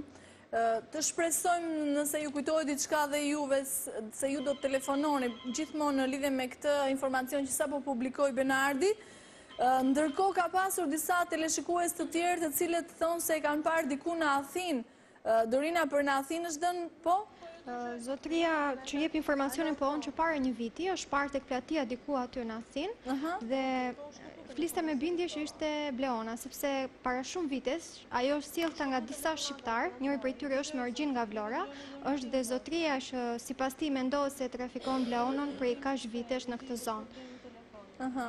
Atëherë merreni të saktë si informacion në çfarë zone të Athinës, sepse Athina është shumë e madhe, gjithsesi le të ngushtohemi tani në zonat ku vjen informacioni. Bukurie, ke diçka tjetër për të shtuar? Unë do kisha bon thirrje në emrin tim dhe sidomos në emrin e Bleonës, sepse ajo është një vogëlushe e pafajshme, Që vetëm që torturohet ajo nëpër rrugë dhe nëpër trotuare të shteteve të botës dhe të ngacmohet me alkool, me duhan, vetëm shpirti i asaj e përjeton këtë dhimbje. Bukurie, ne nuk e dimë se sa i saktë është si informacion dhe si e dhënë, gjithsesi nuk e dimë ka qenë Bleona apo dikush tjetër. Të gjitha këto do kalojnë, shpresojmë që ajo të jetë shëndoshë e mirë, kjo është kryesorja. Edhe një herë unë do doja të më thonit kemi diçka tjetër për momentin në lidhje me historinë e Bleona Matës. Në qoftë se ju merrni informacione, do doja t'i merrni të sakta vendet sepse në moment ne mund t'jua kalojmë të gjitha këto të dhëna dhe informacione kolegëve tanë në Greqi. të cilët edhe nëpërmjet pra shoqatës Buzëqeshja e Fëmijës fillojnë menjëherë kërkimet. Prandaj merrni të sakta zonat ku japin informacione teleshikuesit. Atëherë të nderuar miq do të presim të shikojmë se si do të vijojnë këtë mbrëmje informacionet për Bleona Matën edhe një herë i bëj thirrje Policisë së Shtetit, Ministrit të Brendshëm, në qoftë se ndjekin emisionin tonë këtë mbrëmje kemi nevojë për mbështetjen tuaj. për të kërkuar këtë fëmijë, këtë vajzë të vogël, e cila me sa duket është rrëmbyer para 4 vjetësh, vazhdon të rezultojë e humbur, por sonte është ndezur një dritë jeshile për të. Është parë siç e dëgjuat në shtetin grek, e shoqëruar nga një person i gjatë, i cili me sa duket e trafikon. Do t'ju lutesha bashkëpunimin tuaj, le të vihemi të gjithë në lëvizje për ta kthyer vajzën në familje. Atëherë, duke pritur telefonata dhe informacionet tuaja, kalojmë te rastet që stafi im ka për të publikuar për momentin, shpejt e shpejt Seda, sepse kemi mbrëmje të gjatë sonte. Po edhe mirëmbrëma, mirëmbrëma të gjithëve, atëherë natën e sotme do të publikoj historinë e një vajze, e cila kërkohet nga motra e saj. Ajo quhet Ardola Danaj dhe kërkohet nga motra e saj Arlinda Qama. Ardola ka lindur në datën 17 prill të vitit 1989 Në maternitetin e Tiranës. Pas divorcit të dy prindërve të saj, vajza përfundon në shtëpinë e fëmijës po në Tiranë. Sipas të gjitha verifikimeve që ne kemi arritur të bëjmë, vajza rezulton e regjistruar në gjendjen civile në Memaliaj, pra aty ku është dhe vendlindja e nënës së saj. Kjo histori është publikuar dhe sezonin e kaluar në emisionin tonë dhe ne kemi arritur të marrim shumë informacione.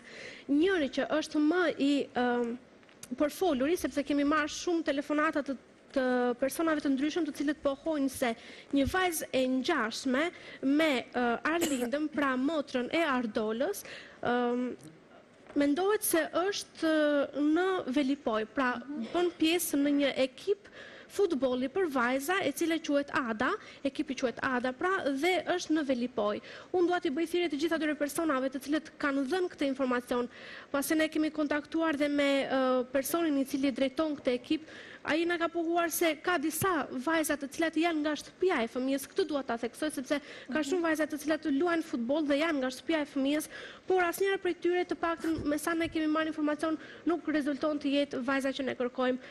I bëj thirrje të gjithë atyre personave të cilët kanë dhënë këtë informacion të na japin një foto të kësaj vajze, që ne t'ia dërgojmë motrës së saj dhe të vërtetojmë nëse është kjo personi që ne kërkojmë apo jo. Shpresoj se edhe atëherë të na ndjekin dhe të telefonojnë menjëherë në emisionin tonë. Stella. Është hera e parë që publikohet rasti i tij. Ai është nga Kukësi, sot duhet të jetë 32 vjeç, dhe rezulton i humbur që prej datës 14 gusht të vitit 2011 nga Anglia. Me sa jam në dijeni Stella, në studio kemi dhe familjarin, pra vëllain e Xhevahir Tafazi, zotin Avdyl, mirëmbrëma, mirë se keni ardhur.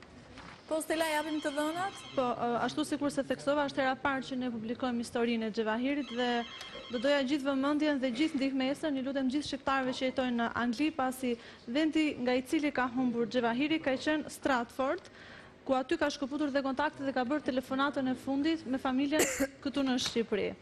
Xhevahiri kishte shumë vite që kishte jetuar atje dhe në vitin 2011 ka marrë edhe dokumentat Pra, dhe dhe më pas bëri dhe shkëputjen e kontakteve. Atëherë le të përqendrohemi Stella, kur themi në dy mijë e njëmbëdhjetën ka marrë dokumentat në shtetin anglez, ku jemi përqendruar, në çfarë zone të Anglisë? Në Stratford, aty ku ka bërë edhe shkëputjen e kontakteve së fundmi, pra në vitin dy mijë e njëmbëdhjetë, në katërmbëdhjetë gusht.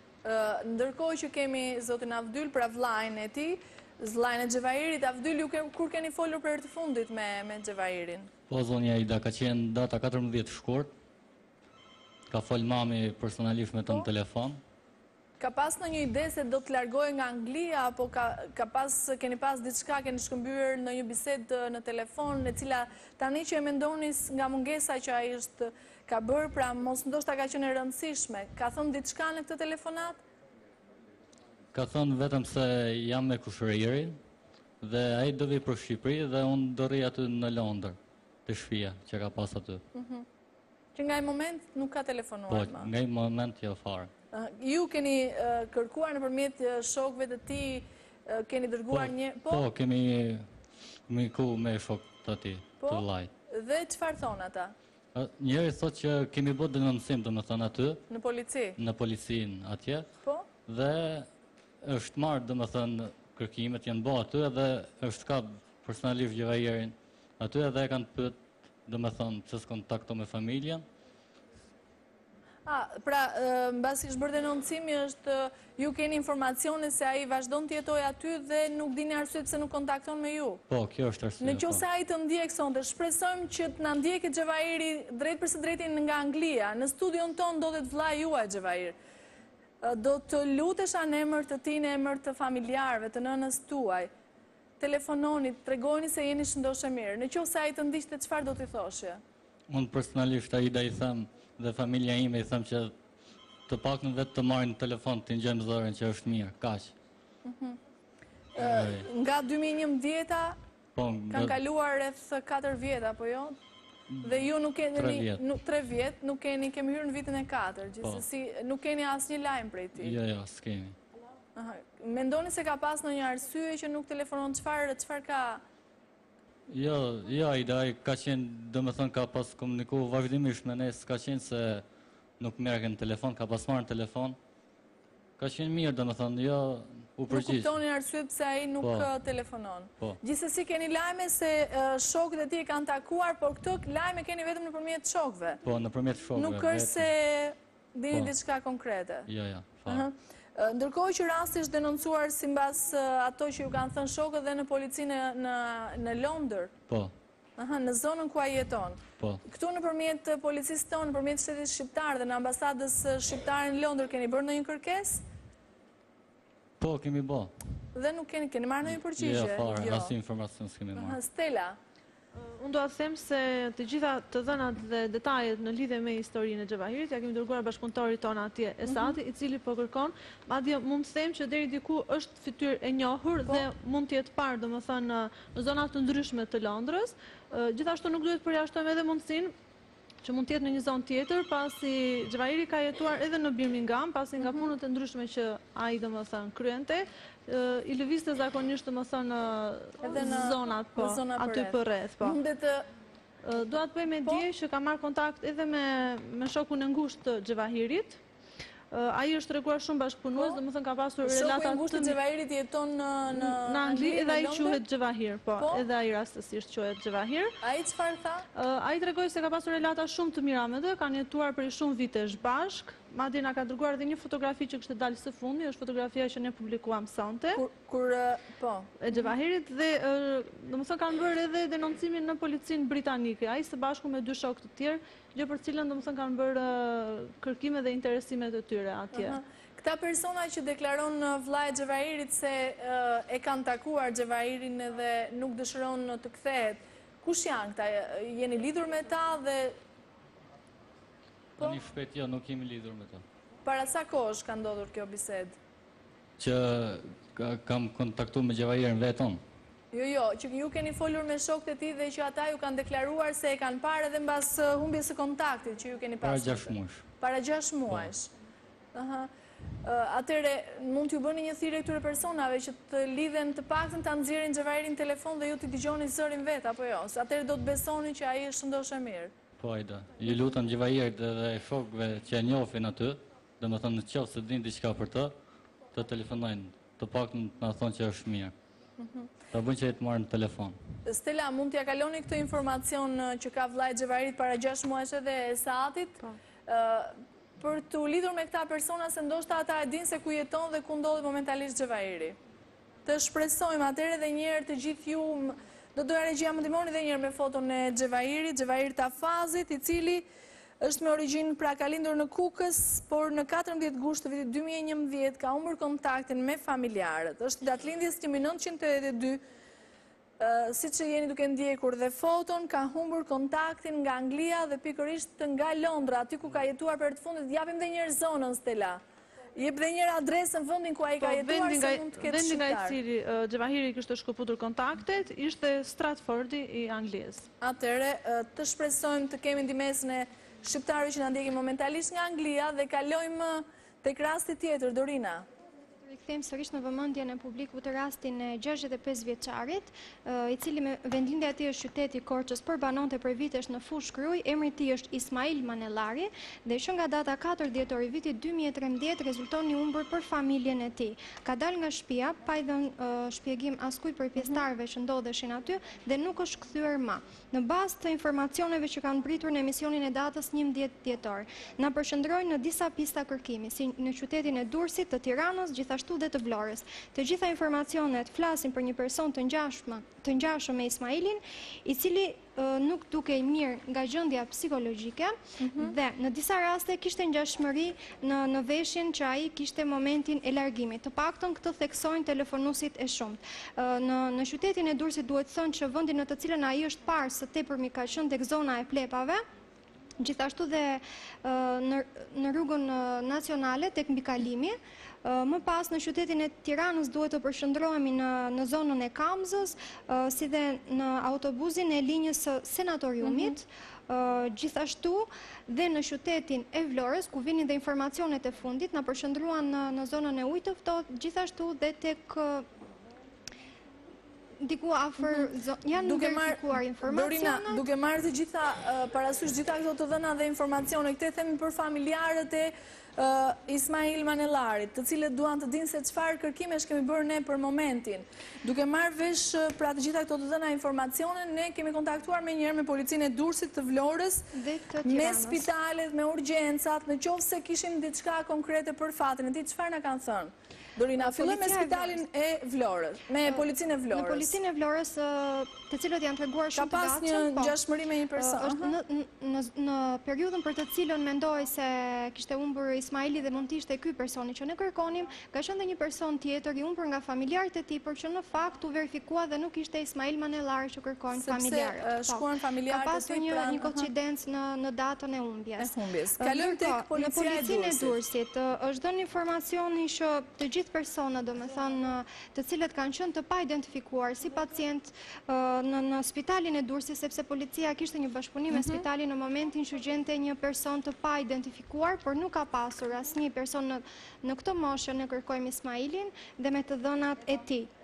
Më pas kontakti me policinë e Tiranës, të cilët ishin në dijeni të rastit, gjithashtu dhe me urgjencën, nga verifikimi që ato bënë, ka pasur disa pacientë në mhm. periudhën nga dhjetori dhe deri më tani, por në fakt nuk kanë qenë asnjë person. Asnjë prej tyre po, nuk kishte lidhje me Ismailin. Nuk Ismaili janë identifikuar dhe familjarët kanë shkuar për t'i për t'i marrë. Mhm, ndërkohë që Njerëz të Humbur ka kërkuar dhe nëpër morgje, Morgje, duke marrë parasysh se diçka, gjithçka mund të ndodhë, nuk kemi arritur të gjejmë absolutisht asnjë gjurmë të Ismailit. Le ta kërkojmë atë sonte edhe një herë të nderuar miq, publikuan foton e tij të dhënat e tij, le ta kërkojmë mes të gjallëve, duke shpresuar që është shëndoshë e mirë, mos harrojmë se ka humbur kontaktin me familjarët nga 4 dhjetori i vitit të kaluar, Jemi në periudhë dimri, kanë kaluar shumë kohë, nuk e dimë si është gjendja e tij shëndetësore, megjithatë do t'u luteshim të gjithë atyre që ndoshta e kanë parë diku, të kontaktojnë me emisionin tonë. Familjarët janë të shqetësuar pra për fatin e tij. Do të jemi në pritje, kalojmë tek Albano. Rasti që do të prezantoj sot është rast bëhet fjalë për Bajram Dibrën, shtatëdhjetë e nëntë vjeçarin me vendlindje nga Dibra, me banim në Hidrovor të Durrësit. deklarohet i humbur prej datës njëzet e tetë korrik i vitit dy mijë e trembëdhjetë. Prej kësaj date nuk dihet më asnjë gjë për për Bajram Dibrën. Theksojmë që ai ka në momentin e largimit ka shfaqur shenja skleroze dhe familjarët prandaj shqetësohen edhe më tepër sepse ai është i pavetëdijshëm se nuk e di se ku mund të të ketë shkuar dhe ne jemi duke kërkuar rreth zonës së Durrësit dhe rrethinave përreth. Natyrisht kemi pasur bashkëpunim shumë të mirë me Policinë e Shijakut. Po.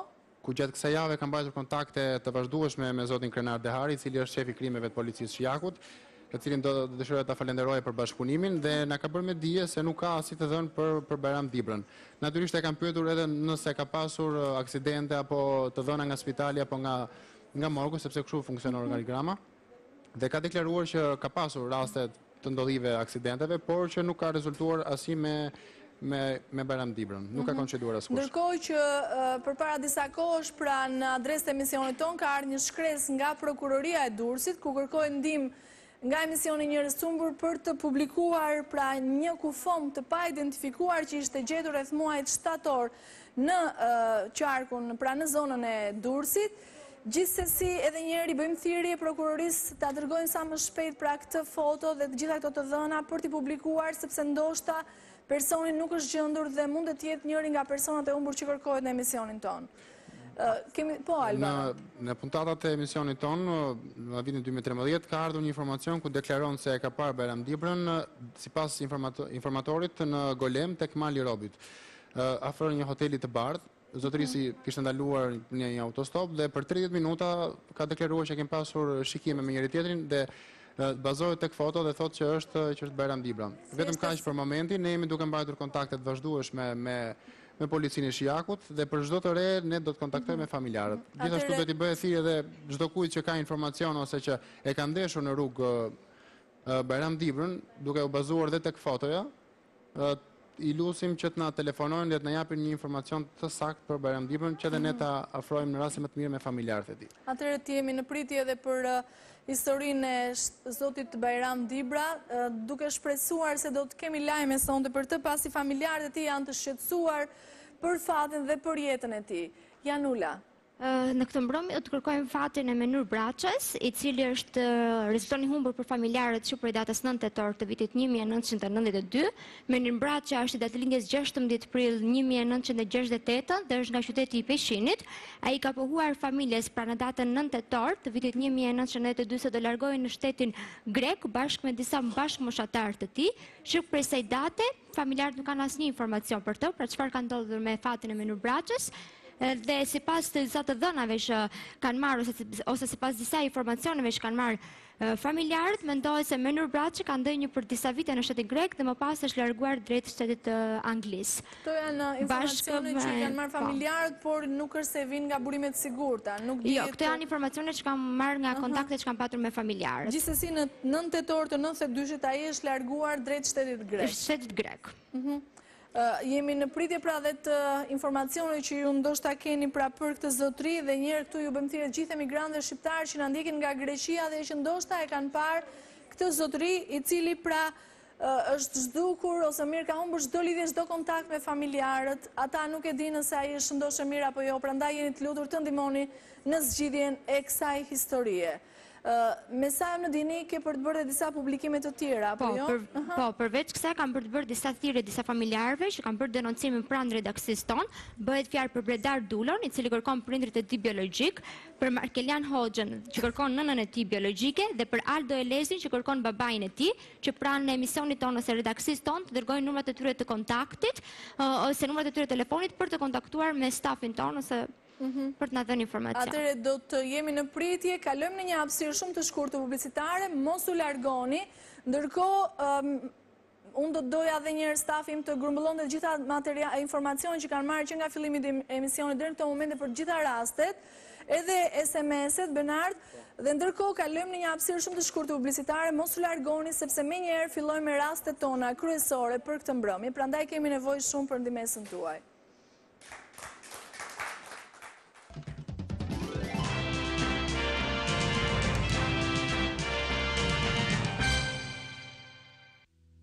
Flisni me të afërmit tuaj kudo në botë me kartën Neofon, me tarifat më të lira nëpërmjet telefonit tuaj celular. deri në 50 minuta kohë bisede nga celulari me 500 lek me TVSH. E gjeni tek zyrat e postës shqiptare dhe pikat e gazetave në të gjithë Shqipërinë. Për më shumë informacion, vizitoni neofon.al.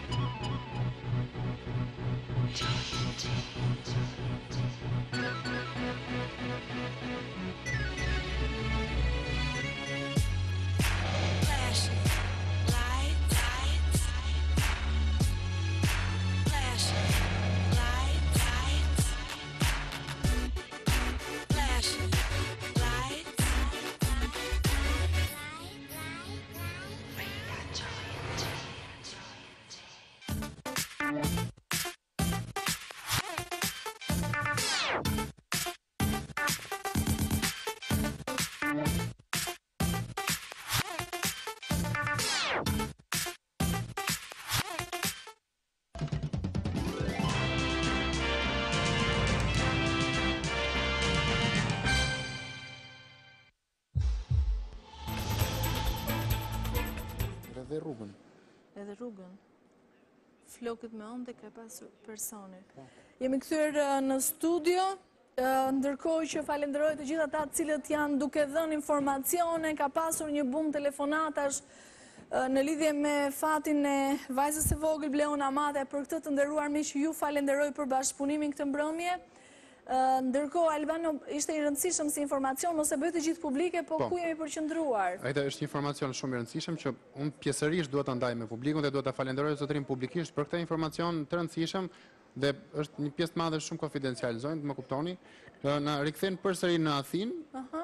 Rreth një zone të Athinës, ne jemi duke verifikuar, jemi duke kontaktuar me korespondentët tanë dhe do do flasim. Gjithmonë i njëjtë informacion e shoqëruar nga një person i gjatë me flokët pak me onde këto këto ja qenë i tillë informacion një person i gjatë dhe kur e ka marrë nga vendi mhm. i ngjarjes të shpresojmë ndërkohë po. që me sa jam në dijeni Benard ka pasur dhe me SMS po, po ka patur mhm. Vajzat kanë marrë dhe të dhëna të tjera. Keni diçka për të publikuar? Për momentin, pasi që kemi dhënë nga fillimi... Po. Tani sapo ka ardhur një informacion që thotë për në gusht të vitit të kaluar të 2013-ës, mendon se ka parë një vajzë të ngjashme me Bleonën të paktën nga gjithë karakteristikat që ne kemi përshkruar, në Athinë në platia Kipriu, E ka parë që shiste po prap kartpeceta, e mban mend shumë mirë, thotë telefonuesi që ka qenë një lokal që quhet Everest në në atë zonë dhe vajza ishte rreth rrotull lokalit dhe shoqëruar po prap me me dy persona. Ja edhe një herë foton e Bleona Matës për ta vërtetuar personin që ju vërtet keni parë. Pra, është parë në muajin gusht të vitit të kaluar. Po, rreth datës 20 gusht të vitit të kaluar. Po, në Athinë. Në Athinë.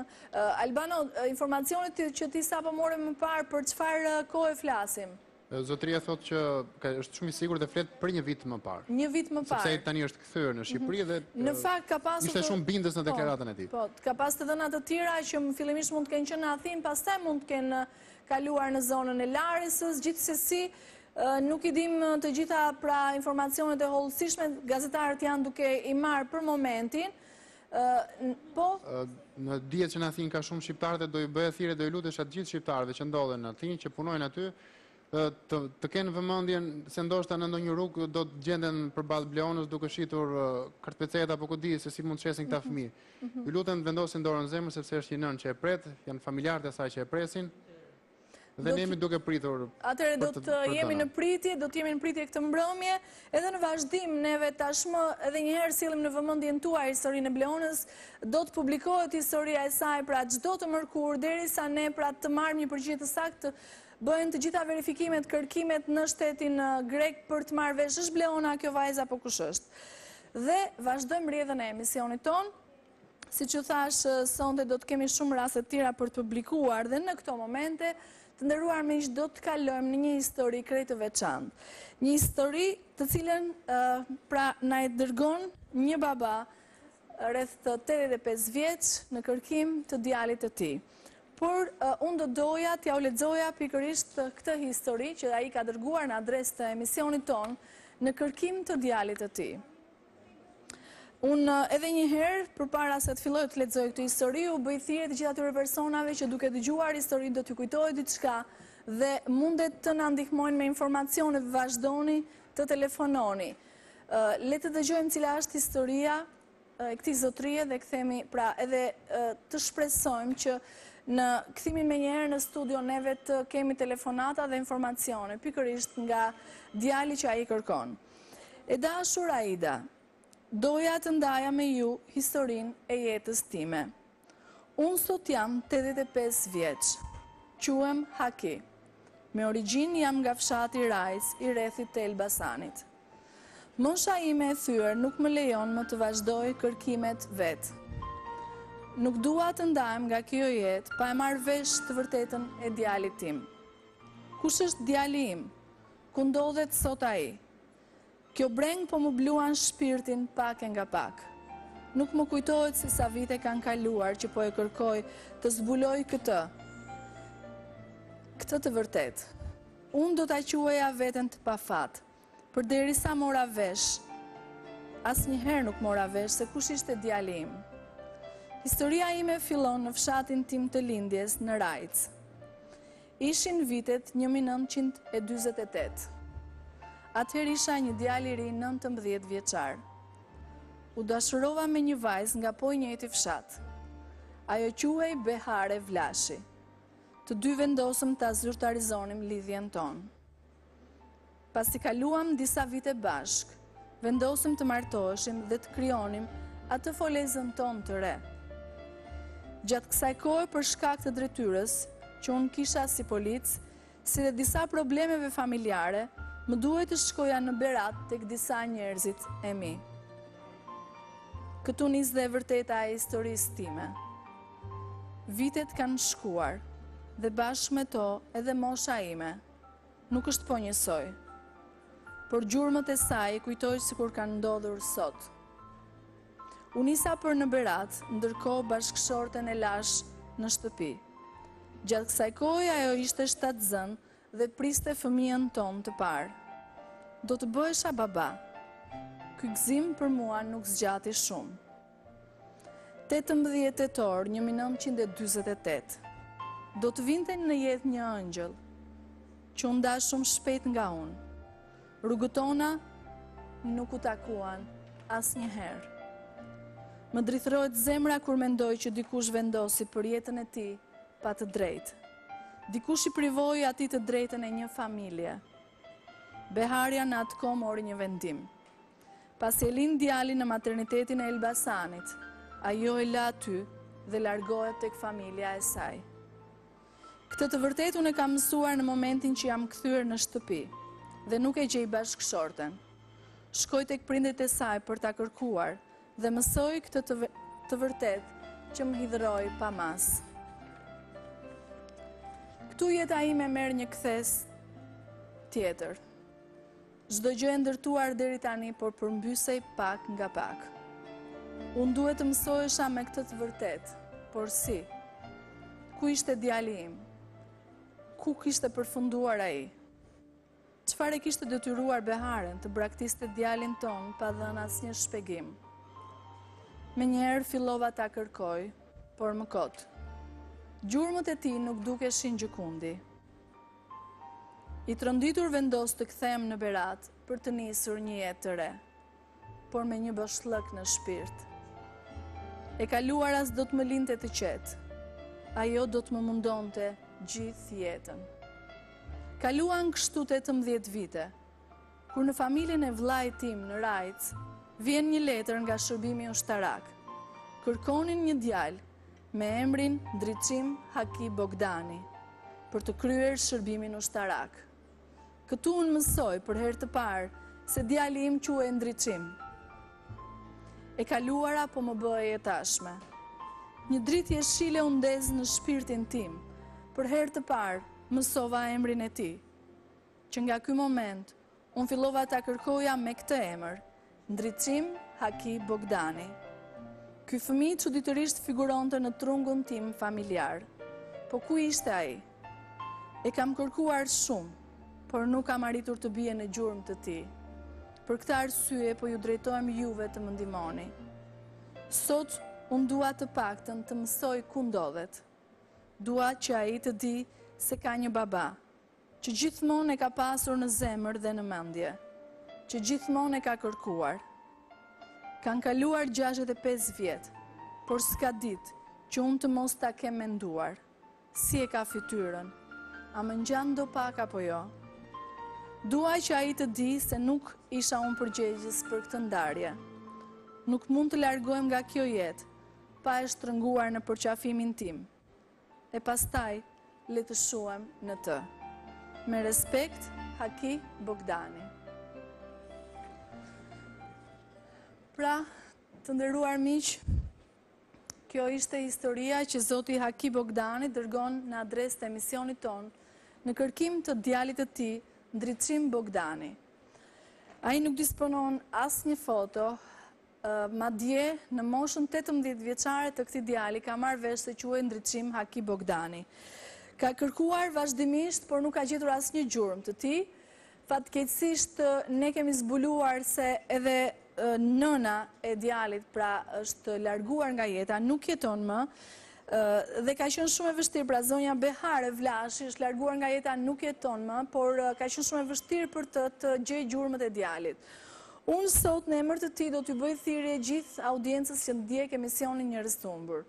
Jemi një emision i drejtpërsëdrejti, në qoftë se sot na ndjek një person i quajtur Ndriçim Haki Bogdani, i datëlindjes tetëmbëdhjetë tetor një mijë e nëntëqind e dyzet e tetë, në qoftë se ndjek emisionin tonë, le të telefonojë menjëherë, pasi babai e tij, Në moshën tetëdhjetë e pesë vjeçare, ka gjashtëdhjetë e pesë vjet që e kërkon. E ka kërkuar vazhdimisht, por në këtë moshë i është drejtuar emisionit tonë, për të marrë përgjigje nga djali i tij. Edhe një herë e përmend Ndriçim Haki Bogdani.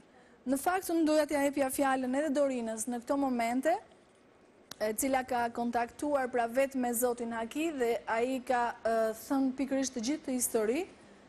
Dorina, pra, cilat janë momentet kyçe që mundet të publikojmë sonte dhe mund të ndihmojnë teleshikuesit për kërkimin e këtij personi, por të shpresojmë që ai të ndjekë emisionin tonë sonte? Atëherë, fillimisht duhet të themi që gjithë historia ka ndodhur në fshatin Rrajcë të qytetit të Elbasanit. Po. Vend në të cilën ky fëmijë ka lindur, ka ardhur në jetë nga një martesë e rregu. Të Librazhdit. Të Librazhdit. Po. Qarku i Elbasanit, po. por e ka... Ka ardhur në jetë po. nga Haki dhe Behare Bogdani, dy prindërit e tij biologjikë. Në datën 18 tetor të vitit 1948. Pra edhe një herë, ka lindur në Rrajcë, ka lindur në 18 tetor të vitit 1948, në maternitetin e Elbasanit dhe më pas nuk dihet se çfarë ka ndodhur me djalin, gjurmët e tij deri më sot nuk dihen. Kjo është historia që të paktën zoti Haki na ka treguar. Ndërkohë që ju keni filluar kërkimet. Po, fillimisht kemi filluar kërkimet në qytetin e Elbasanit dhe në maternitetin e Elbasanit, në vend në të cilën është lënë fëmija.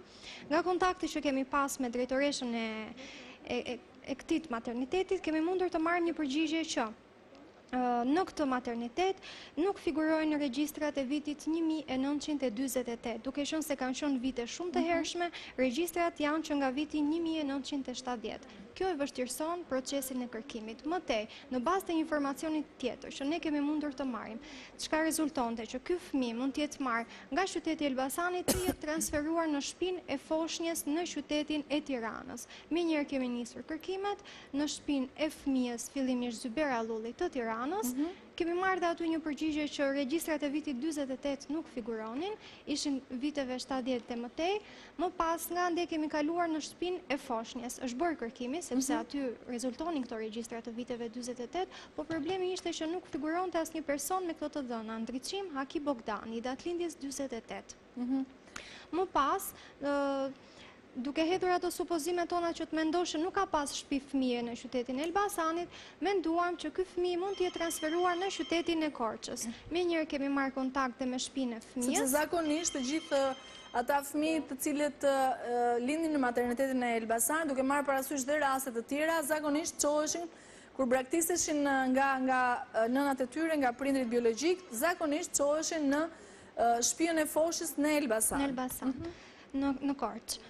Në Korçë, më fal. Po, dhe aty e morëm një përgjigje që pas viteve 48 figurojnë regjistrat dhe aty asnjë e dhënë. Më pas kërkimet tona filluan në regjistrin e gjëndjes civile, mhm. sepse aty nis edhe gjithë historia e zotit Haki, se fëmija e tij figuron dhe ende në trungun e familjes Bogdani.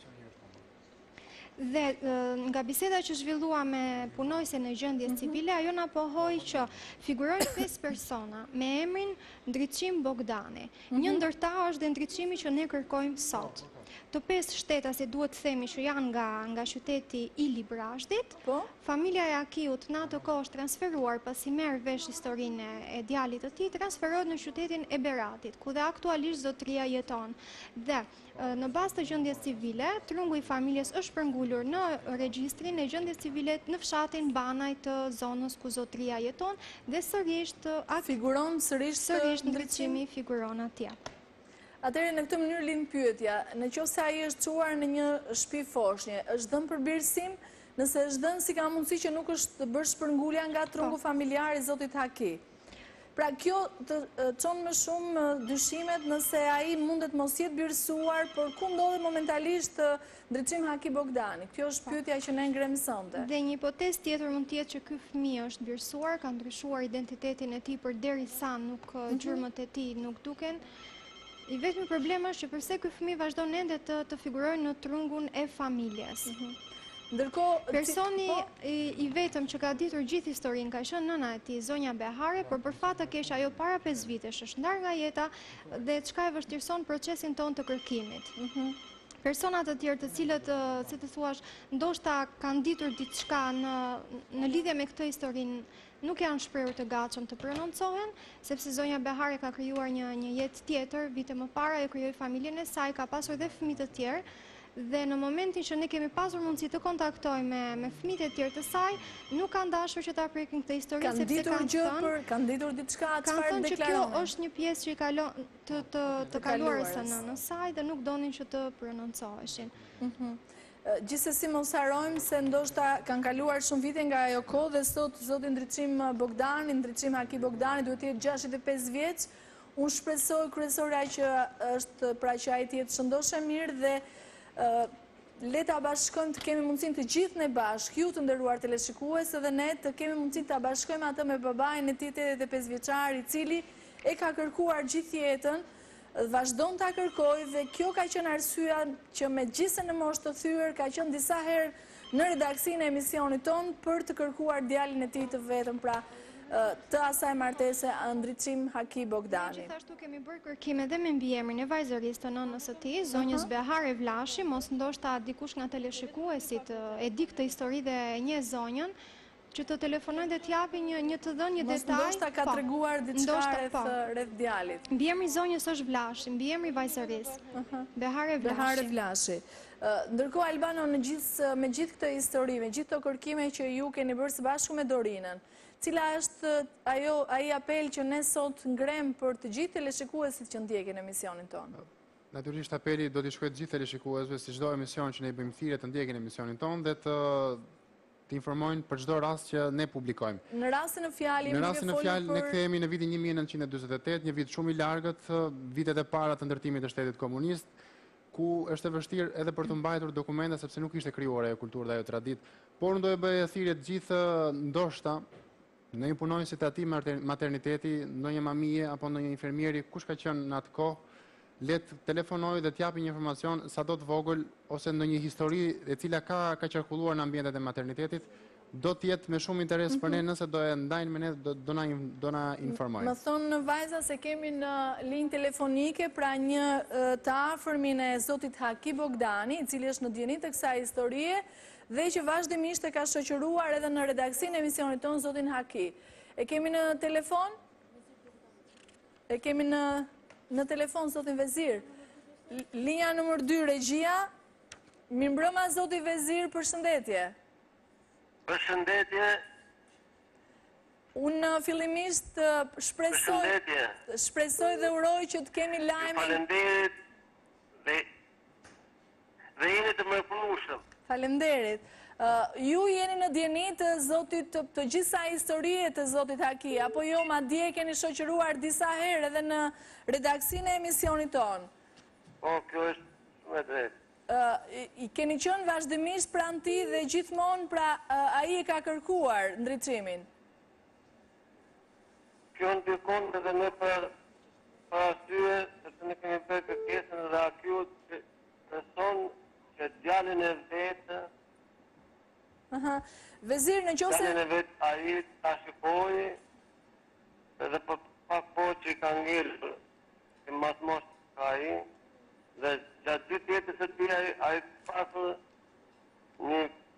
Pengen e tija në veprimtarinë e tija të punës dhe të jetës.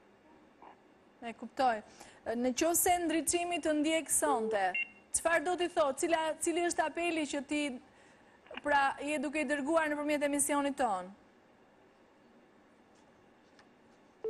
Vezir? E, e gjithë kjo histori e dhimshme e të taj tonë, edhe të afërmet të tija, ne Ndriçimit i bëjmë thirrje që ai të bashkohet me babain e tija, sido që të jenë rrethanat, të gjitha ngjarjet që kanë ndodhur që nga viti dyzet e tetë edhe deri më sot, që është një kohë gjashtëdhjetë e pesë vit, ai sot do të marri një drejtim për të Për të takuar babain sepse babai e pret me mall. Shpresojmë që ai ta ketë dëgjuar thirrjen tuaj sonte dhe thirrjen e babait të tij. Kryesorja është që të jetë shëndoshë e mirë dhe të ndodhet diku, nuk e dimë, brenda Shqipërisë apo jashtë Shqipërisë. Megjithatë, unë do të doja këtu jo vetëm Ndriçimit, por dhe të gjithë atyre që e njohin Ndriçimin, Nëse ai ka këtë identitet, por me sa duket përderisa ka ardhur dhe letra në moshën e tij tetëmbëdhjetë vjeçare për të kryer shërbimin ushtarak, vërteton se ndoshta Ndriçimi mban po të njëjtin emër, Ndriçim Haki Bogdani, shpresojmë të kenë dëgjuar thirrjen tonë sonte dhe të telefonojnë, Vezir.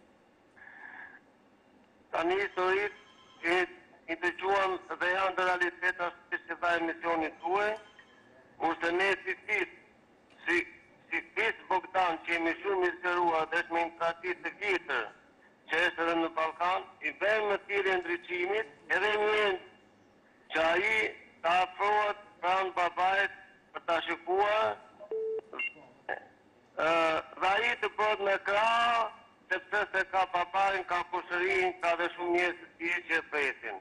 Ta shpresojmë këtë Vezir unë të falenderoj të përshëndes në qoftë se do të kemi diçka tjetër jam e bindur sonte që na ndjek dhe zoti Vezir por e di gjendjen e tij shëndetësore jo fort të mirë megjithatë ai prapë është i fortë sepse ka shpresë se do të bashkohet me djalin një ditë ndërkohë që nëse ne do të kemi të dhëna informacione këtë mbrëmje do të kërkojmë sërish lidhjen me ju për momentin të përshëndes ju faleminderit të përshëndesim edhe ne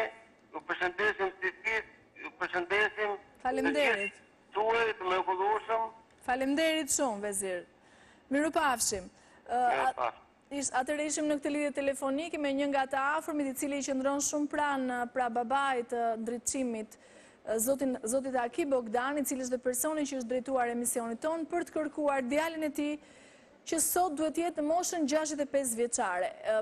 Unë do doja të pyesja stafin tim nëse gjatë kësaj këtyre çasteve që ne ishim duke folur për historinë e Hakiut, në qoftë se kemi ndonjë telefonatë, kemi ndonjë shenjë pozitive që mundet ta publikojmë sonte në lidhje me fatin e tij. Kemi diçka në...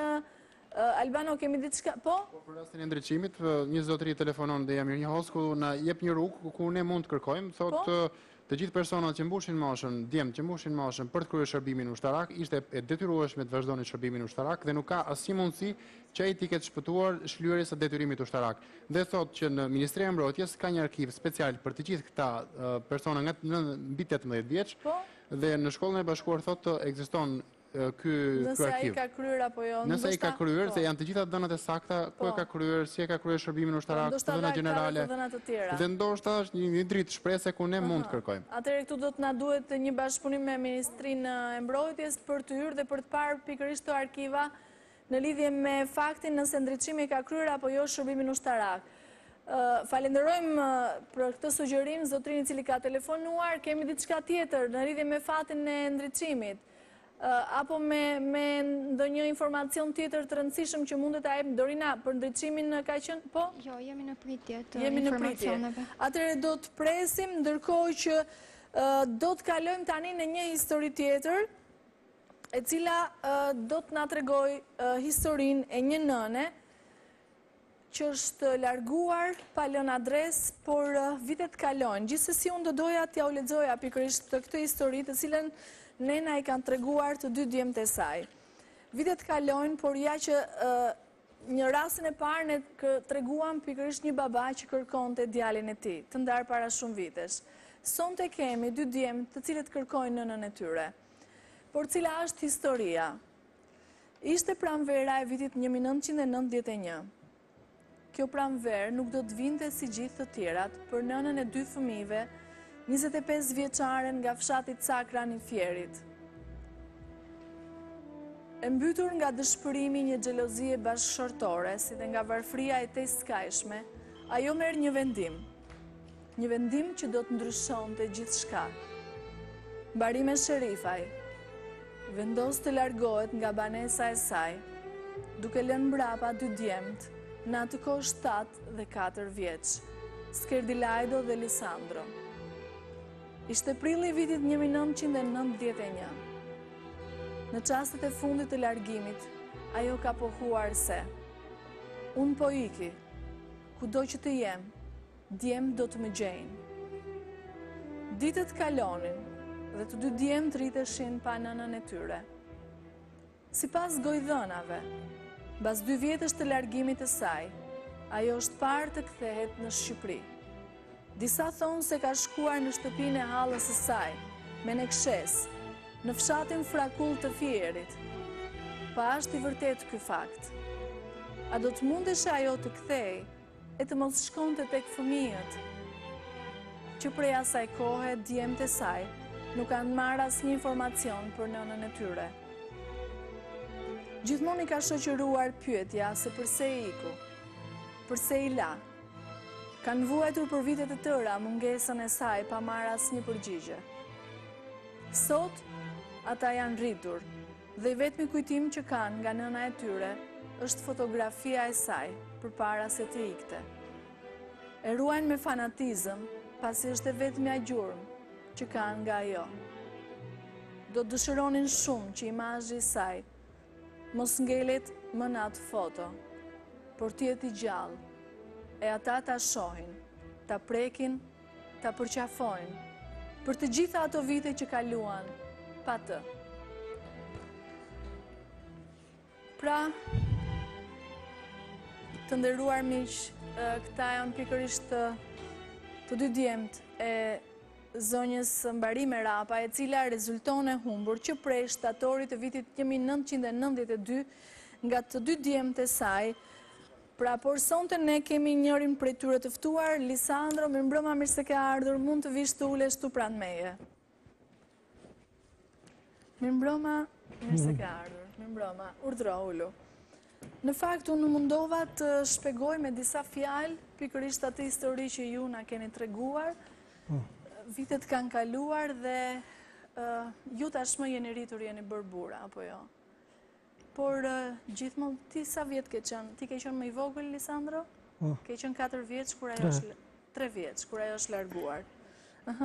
Pra nuk e di nëse ti e mban mend pra imazhin e jo. saj vetëm nëpërmjet fotos. Si ka qenë jeta juaj gjithë këto vite pa pa të? Shumë e vështirë. Mhm. Ju keni vazhduar të jetoni në të njëjtën shtëpi me babain po. tuaj? Mhm.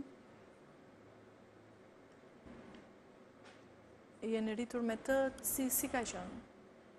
Shumë e vështirë pa të apo po, jo? Po, po. E keni pyetur vazhdimisht të afërmit sepse ajo ka pasur Motra, vëllezër apo jo, nëna juaj, keni mm. shkuar pranë tyre, keni marrë vesh ndonjë të dhënë informacion, sepse me sa jemi ne në dijeni, edhe ato që ju na keni thënë, ndoshta ajo është larguar drejt Greqisë apo jo. Po, po. Mhm. Ju keni shkuar pranë tyre, ju kanë thënë diçka në momentin që S'na kanë thënë asgjë, na kanë thënë ne s'e dimë ku është, ku ndodhet. Lisandro, kur keni filluar ju të kërkoni, përveç emisionit tonë pra, rreth nënës tuaj? Gjatë viteve që kanë kaluar. Të gjitha vitet. Ju keni qënë ndonjëherë në Greqi, sepse mendohet po, se po. ndoshta ajo është larguar në Greqi. Po, kam qënë. Ke tentuar ta kërkosh edhe atje? Kam tentuar, po, s'kam patur informacion shumë. Ndërkohë që dhe të afërmit e saj nuk të kanë thënë absolutisht asgjë, apo jo? Asgjë. Thonë që edhe ne nuk e dimë. S'kemi kështu informacione. Mhm. Në qoftë se ajo të ndjek Sandi, të ka lënë tre vjeç dhe ti sot je bërë Burrë, apo jo. Ndërkohë më the se vitet që ke kaluar pa të, pra kanë qënë shumë të vështira. Shumë të vështira. Sepse ti sot përfaqëson edhe vëllain tjetër, apo jo, i cili nuk ndodhet në studio, por kanë qënë shumë të vështira. Në qoftë se ajo të ndjek sonte, përpara se të ikte në fakt ajo ka thënë diçka, që kudo që të shkoj, djemtë do vijnë një ditë dhe do të më kërkojnë, po, po. do të më gjejnë. Ka thënë hallës. I ka thënë hallës. Mhm. Ju e keni kërkuar, nuk keni mundur ta gjeni dhe në këtë mënyrë iu drejtuat emisionit tonë. Në qoftë se ajo të ndjek sonte, çfarë do t'i thoshje? Të jetë mirë, të bëjë një telefonatë, të di se është mirë, të jetë gjallë për veten e saj. Përveç asaj foto që ju keni, nuk keni absolutisht asnjë gjë tjetër. Asnjë. Në fakt, menjëherë, kur ju keni dërguar uh, historinë në adresë të emisionit tonë, ne filluam kërkimet tona dhe unë do të doja t'ia jepja fjalën gazetarëve. Seda, ka qenë një histori me pak të dhëna, po. pak shumë vështirësi në kërkime, megjithatë, unë do doja të ngeleshim hap mbas hapi te gjitha atyre të dhënave, të cilat mund të ndihmojnë dhe teleshikuesit për të, për të arritur, pra për të po, dalë në informacione të sakta. Unë do doja që përpara ne të flisim me vëllain, e, e zonjës pasi vërtet siç e thatë edhe ju kemi pasur vërtet shumë informacione të pakta për këtë histori. Unë kemi biseduar dhe me motrat dhe vëllezërit e tjerë të zonjës uh -huh. Mbarime, në fakt nuk kemi pasur përkrahjen e tyre të paktën të na tregojnë uh, detaje të hollësishme që ne do të na ndihmonin nëse ata dinë po, vërtet, po, nëse ata dinë. Uh -huh. Dhe nuk kemi pasur shumë informacion. I vetmi person që ne na ka ndihmuar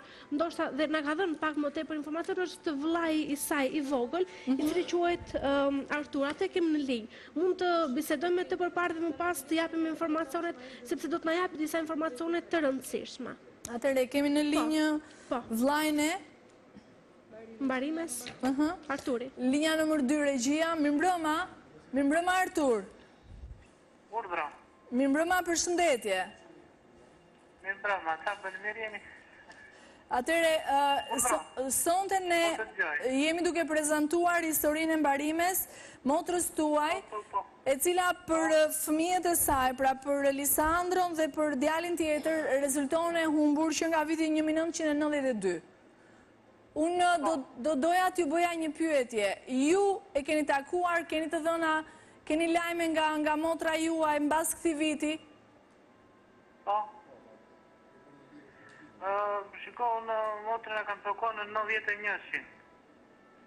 Në 91-shin? Në 91-shin, kam takuar këtu në Omonia, në qendrën e Atinës.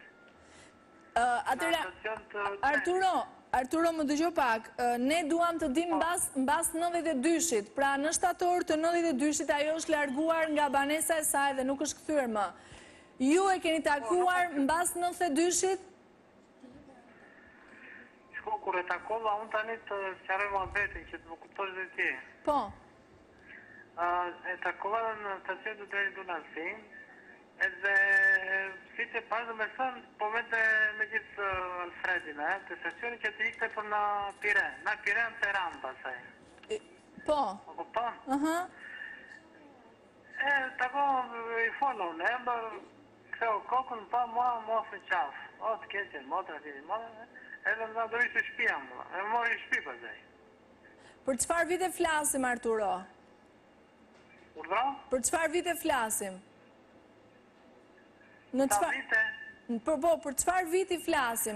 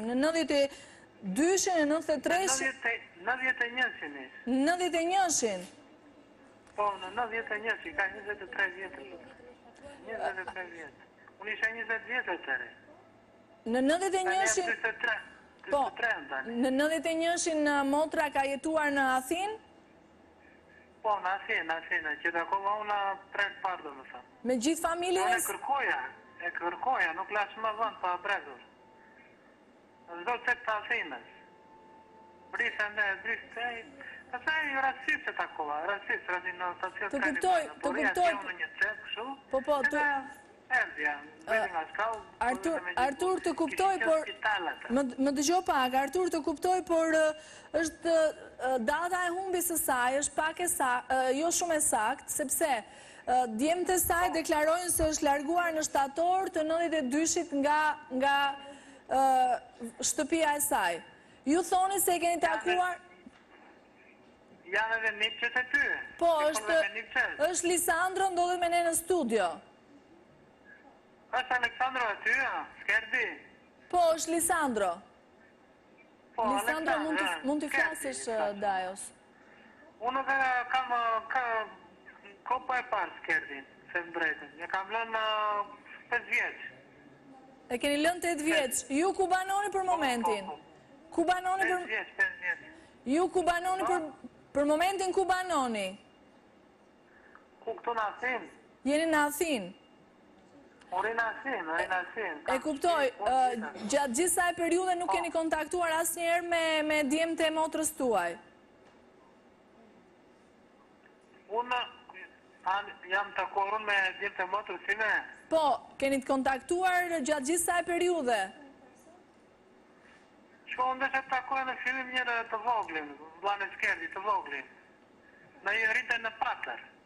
Po, Skerdi... Edhe vetë vajta atje në patrun, me marrë telefon, më kishte mbyllur telefonin. E më tha jam në grinju, përse. Po Lisandro sonde ndodhet me ne në studio, megjithatë unë do t'ju bëj një pyetje, sepse duhet të shkëputemi për t'u rilidhur sërisht, po, mbas edicionit të lajmeve. Kemi një shkëputje të shkurtër për të ndjekur edicionin e lajmeve, por po do doja t'ju bëja një pyetje më përpara. Për herë të fundit, ju kur e keni takuar motrën tuaj për herë të fundit?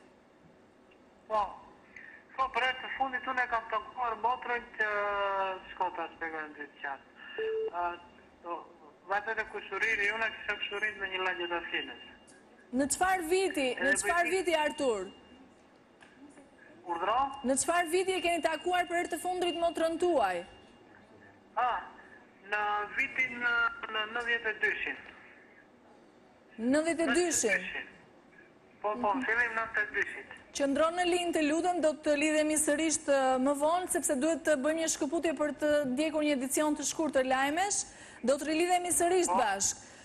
Të nderuar miq, do të shkëputemi tani për të ndjekur edicionin e fundit të lajmeve në televizionin publik shqiptar, mos u largoni.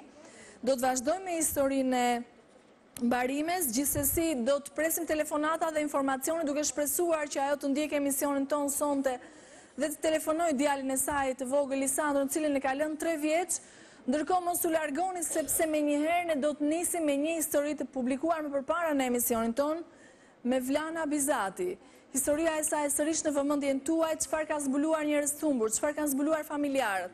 Këtë do ta ndiqni menjëherë mbas edicionit të lajmeve.